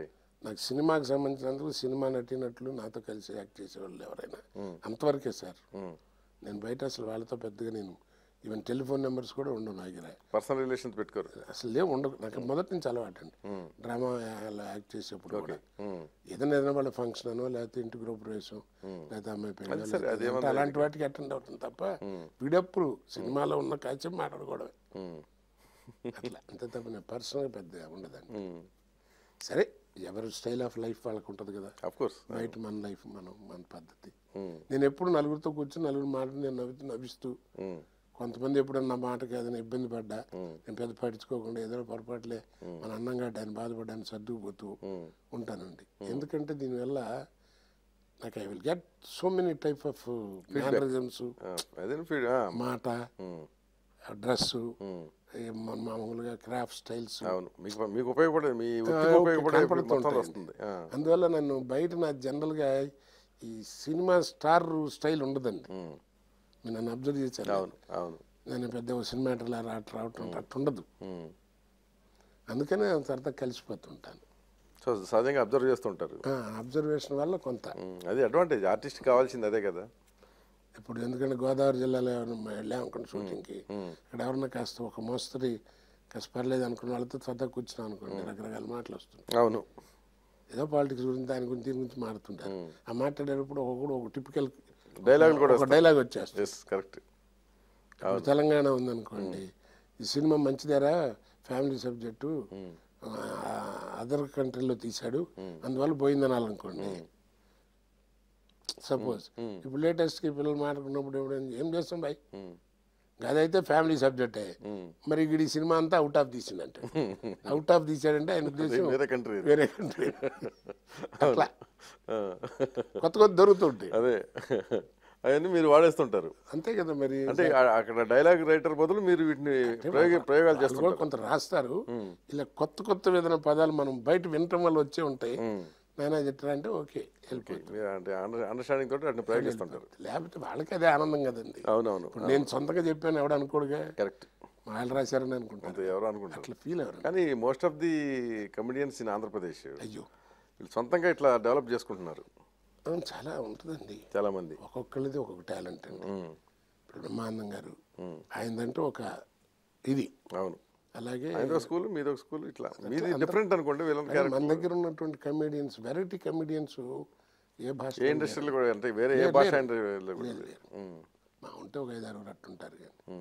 తర్వాత మీరు చూశారు లేదో అబ్జర్వ్ చేశారు లేదో మీరు అదర్ భాషలు కానీ మన దాంట్లో కానీ పెద్ద చూసుకుంటే కమెడియన్కి ఒకళ్ళు ఇద్దరిలో పెట్టి సినిమాలు నడిపిస్తుంటారు. అవును. ఇప్పుడు మన తెలుగు సినిమాలోనే ఎక్కువ అండి. ఎక్కువ మంది పెట్టేస్తున్నారు. ఈవి సత్యనారాయణ గారు అవును. ఆయన టోటల్ అసలు కమెడియన్స్ అందరినీ పెట్టి సినిమా ఇస్తాడు. అవును. వాళ్ళతోనే విలని చేయిస్తాడు వాళ్ళతోనే కామెడీ చేయిస్తాడు వాళ్ళతోనే సాఫ్ట్ చేయిస్తాడు. అవును. దానికి నిదర్శనం నేనే. కరెక్టే. ఎంత కామెడీ నాతో చేయిస్తాడు ఎంత విలని చేయిస్తాడు అంత ఏడిపించే అంత క్యారెక్టర్ కూడా చేయిస్తాడు. అవును. అట్లా అండి. ఆ తేడా చాలా విపరీతంగా ఉంది మనకి వాళ్ళకి. సో మీ లైఫ్లో బాగా మీకు సంతోషం కలిగించింది ఏంటి? అంటే సంతోషం అంటే పేరు ప్రఖ్యాతులు రావడం ఇదేంటి మన నేను ఎమ్మెల్యే అవడం ఉమ్, నటుడు కాబట్టి నాకు అర్హత వచ్చేది కదా అవును. ఇవన్నీ అట్లా పెడితేనండి ఒక్కటి మాత్రం మరువలేనటువంటి థ్రిల్ అండి ఓకే అది నాలాగా చాలామంది నటులు కూడా నటినట్లు ఫేస్ చేస్తుంటారు పని ఉంటారు అది ఎప్పుడంటే నేను నాటకాలు వేస్తున్నంత కాలం స్టిల్స్ ఉంటే ఏదో అట్లా అలా నుంచి స్టిల్లో ఏదో ఒక ఫోటో ఉండేది. సో మనం ఏంటనేది తెలియదు టీవీ వచ్చినప్పుడు ఫస్ట్ నా ప్రోగ్రామ్ టీవీలో వచ్చినప్పుడు అక్కడ చూసుకుంటే ఫస్ట్ స్టార్ట్కి థ్రిల్ అండి నేను ఆ ఆనందం అసలు. వర్ణనాతీతం. ఎందుకంటే నేను నడిస్తే అట్టుంటే నాకు తెలియదు అంత అప్పటికి ఇవన్నీ లేవు అవును లేవు. దూరదర్శన్. అది వచ్చినప్పుడు ఫస్ట్ సినిమాలో చూసినా కానీ అట్లా అనిపించాలా. తర్వాత అనిపించదండి. అప్పుడు మీరు సినిమాలో నటించినప్పుడు అది తెర మీద చూస్తే అట్లా అనిపించలేదా? అలా అట్లా అనిపించదండి. ఎందుకంటే టీవీ ఆల్మోస్ట్ ఈక్వల్గా ఉంటుంది కదా. అవును. నడక డైలాగ్ మాట్లాడుతుంటే వాయిస్ ఎలా ఉంటుంది. మనం విభిన్నంగా వాయిస్లు రేడియోలో చదివి ఉండొచ్చు. సో మీకు ఫస్ట్ టైం ఈ టీవీలో మిమ్మల్ని మీరు చూసుకున్నప్పుడు గొప్ప థ్రిల్ పొందారు. ఉమ్. వర్ణాతీతం అండి. అట్లా వచ్చి అట్లా కనపడి ఇటు చూసి ఆ క్లోజ్లకు పడి నా నడక నా మాట. అది కనపడుతుంటే అసలు ఆ పూట పెద్ద థ్రిల్ అనమాట. అది లైఫ్లో మర్చిపోలేంది. So most tragedy? ఇది లేనిదే ఉందండి అబ్బాయిది. రీసెంట్గా. అదేగా. అంతకంటే ఇంకా లైఫ్లో ఒక ఓన్లీ సన్నా మీకు? ఒక్కడే కొడుకండి. సో అది బిగ్గెస్ట్ ట్రాజిడీ. కానీ విచిత్రంగా ఏంటంటే మీకు బాగా ప్రాణమిత్రుడైన బాబుమోహన్ కూడా అలాంటి పరిస్థితి ఎదురైంది. అవునండి బాబు. మీ ఇద్దరు ఇల్లు పక్క పక్కనే. ఇద్దరికి కూడా ఇది అంటే ఒక చిన్న కన్సోల్ వాళ్ళు అతని సైడ్ ఎట్టుంటుందంటే ఇద్దరు అబ్బాయిలు. ఇద్దరు అబ్బాయిలు. పాపం ఒకటి పోయిన కనీసం కొడుకుని చూసుకోవడానికి రేపు తనకి ఏదైనా చేయాలని హెల్ప్ చేయకూడదు ఉన్నాడండి. మీకు లేరు. లేడు, ఒక్కడే కొడుకండి బాగా మరి చేతికి వచ్చిన కొడుకు. అవును పైగా చేతికి వచ్చిన ఉమ్. మంచి మంచి బాగా ఉమ్. జనరల్గా ఈ సినిమా వాతావరణాలు సినిమా పోకలు పెద్ద లేవు. ఆ మధ్యనే ఒక ఒక రెండు సినిమాలు యాక్ట్ చేశాడు. అందులో లాస్ట్ పిక్చర్ నేను అతను కొడుకు తండ్రి కొడుకులు వేసాం ఉమ్. అది మధ్యలోనే పాపం వాడు. తప్పదు కదండి. అంతే కది. కాకపోతే చిన్న అదృష్టం ఏంటంటే ఇంత త్వరగా నేను కోలుకుని ఇట్లా ఉంటానని ఎక్స్పెక్ట్ చేయలేదండి. God has given that strength. లేకపోతే చాలా కష్టం అది. అంత నిభాయించుకోవటం అనేది. అది అది సైమిల్టేనియస్గా అంత కష్టం ఇచ్చాడో మళ్ళీ అంత శక్తిని కూడా ఇచ్చింది శక్తిని కూడా దాని నుంచి బయటపడ్డానికి. ఇప్పుడు మీకు ఇంకా తర్వాత ఉంది ఒక అమ్మాయా? అంటే పెద్ద కూతురా? ఇంకా ఇద్దరు కూతురు? ఇద్దరు అమ్మాయిలు ఒక అబ్బాయి ఇద్దరు అమ్మాయిలు. ఓకే. మ్యారీడ్ అండి అందరూ మ్యారీడ్ పెద్ద అబ్బాయి పెద్ద అల్లుడికి పెద్ద అమ్మాయికి ఇద్దరు ట్విన్స్ చిన్న అమ్మాయికి ఒకతే కూతురు. అది ఇంకా third fourth class okay okay. So ఇక మనవాళ్ళతోటి కాస్త చిన్న పిల్ల. అదే కాలక్షేపం మేము సో ఏంటి ఇంకా నెక్స్ట్ ఇప్పుడు అంటే అచీవ్డ్ సో మచ్ అంటే ఒక ఆర్టిస్ట్గా ఇంకా మిగిలిన అంబిషన్ ఏంటి మీకు లైఫ్లో నాకు నరనరాలా జీర్ణించిపోయింది యాక్టర్నే కదండి. మిగిలిన అంటారు మనకు వచ్చేటువంటి ఆదాయాన్ని బట్టి మనం వాడుకునే దాన్ని బట్టి దాన్ని బట్టి మనం సెటిల్ చేసుకోగలం. అవును అవును. కానీ దీన్ని ఏమిటి నెక్స్ట్ అనేది మనకి చేతిలో ఉండదు. అవును ఉండదు. కానీ ఒక మనకేదో ఇంకొకటి ఇది సాటిస్ఫాక్షన్ కూడా ఇవాళ మీరు ఇందాక మనం మాట్లాడుకుని మనకు వచ్చిన కొన్ని కష్టాలు ఇవన్నీ కూడా కొంచెం మర్చిపోవడానికి డైవర్ట్ ఉండడానికి కూడా డైవర్షన్ ఉండడానికి కూడా నేను నటుడు అవటం వల్ల ఒక అదృష్టం అండి. లేకపోతే అదే నేను ఏదైనా ఆఫీస్ ఎంప్లాయ్ కరెక్ట్ వెళ్ళిపోద్ది నుంచి సాయంకాలం అక్కడే కూర్చుని బాధపడాల్సి వచ్చేది అది లేకుండా చేయటం ఒకటండి. కాబట్టి జీవితంలో ఇంత చేసి అంత చేసినా ఏ పదవి చేసినా ఎమ్మెల్యే చేసినా ఇంకోటి చేసినా ఏది చేసినా ఇంత సంపాదించినా ఇంత కీర్తి ప్రతిష్టలు తెచ్చుకున్నా ఒకటే కారణం అండి అదే నటన. నటున. నటనలోనే కాబట్టి నేను చివరికి కోరుకునేది ఒకటే నా లైఫ్ అంబిషన్ ఏంది? నేను చచ్చేదాకా నటించాలి సార్. నేను చచ్చిన తర్వాత నటుడిగా బతకాలి. ఓకే. అది నా అంబిషన్ అంతకంటే ఎంతకంటే ఇంకేం కావాలి? అంతే ఇంకేం చేయలేను కదండి. అవును అవును. అంటే ఒక పలానా పాత్ర ఇంకా వేస్తే బాగుంది నేను చెప్పాను కదా అది ఇప్పుడు కష్టం అండి. ఎందుకంటే రోజుకు ఒక రకమైనటువంటి వచ్చేస్తుంది ఓకే. కదా? సో ఇప్పుడు చూడండి మనకి ఎంతెంత మార్పులు వచ్చినాయి. అంటే కొంతమంది ఏమంటారంటే నాకు పలానా అవార్డు కావాలని. కొంతమందికి ఆ పలానా ఏమండి? ఉమ్, అడిగితే ఇస్తారో లేదా అడగకపోయినా వస్తే పక్కన పెడితే టాపిక్. ప్రాప్తాన్ని మించింది లేదు సార్.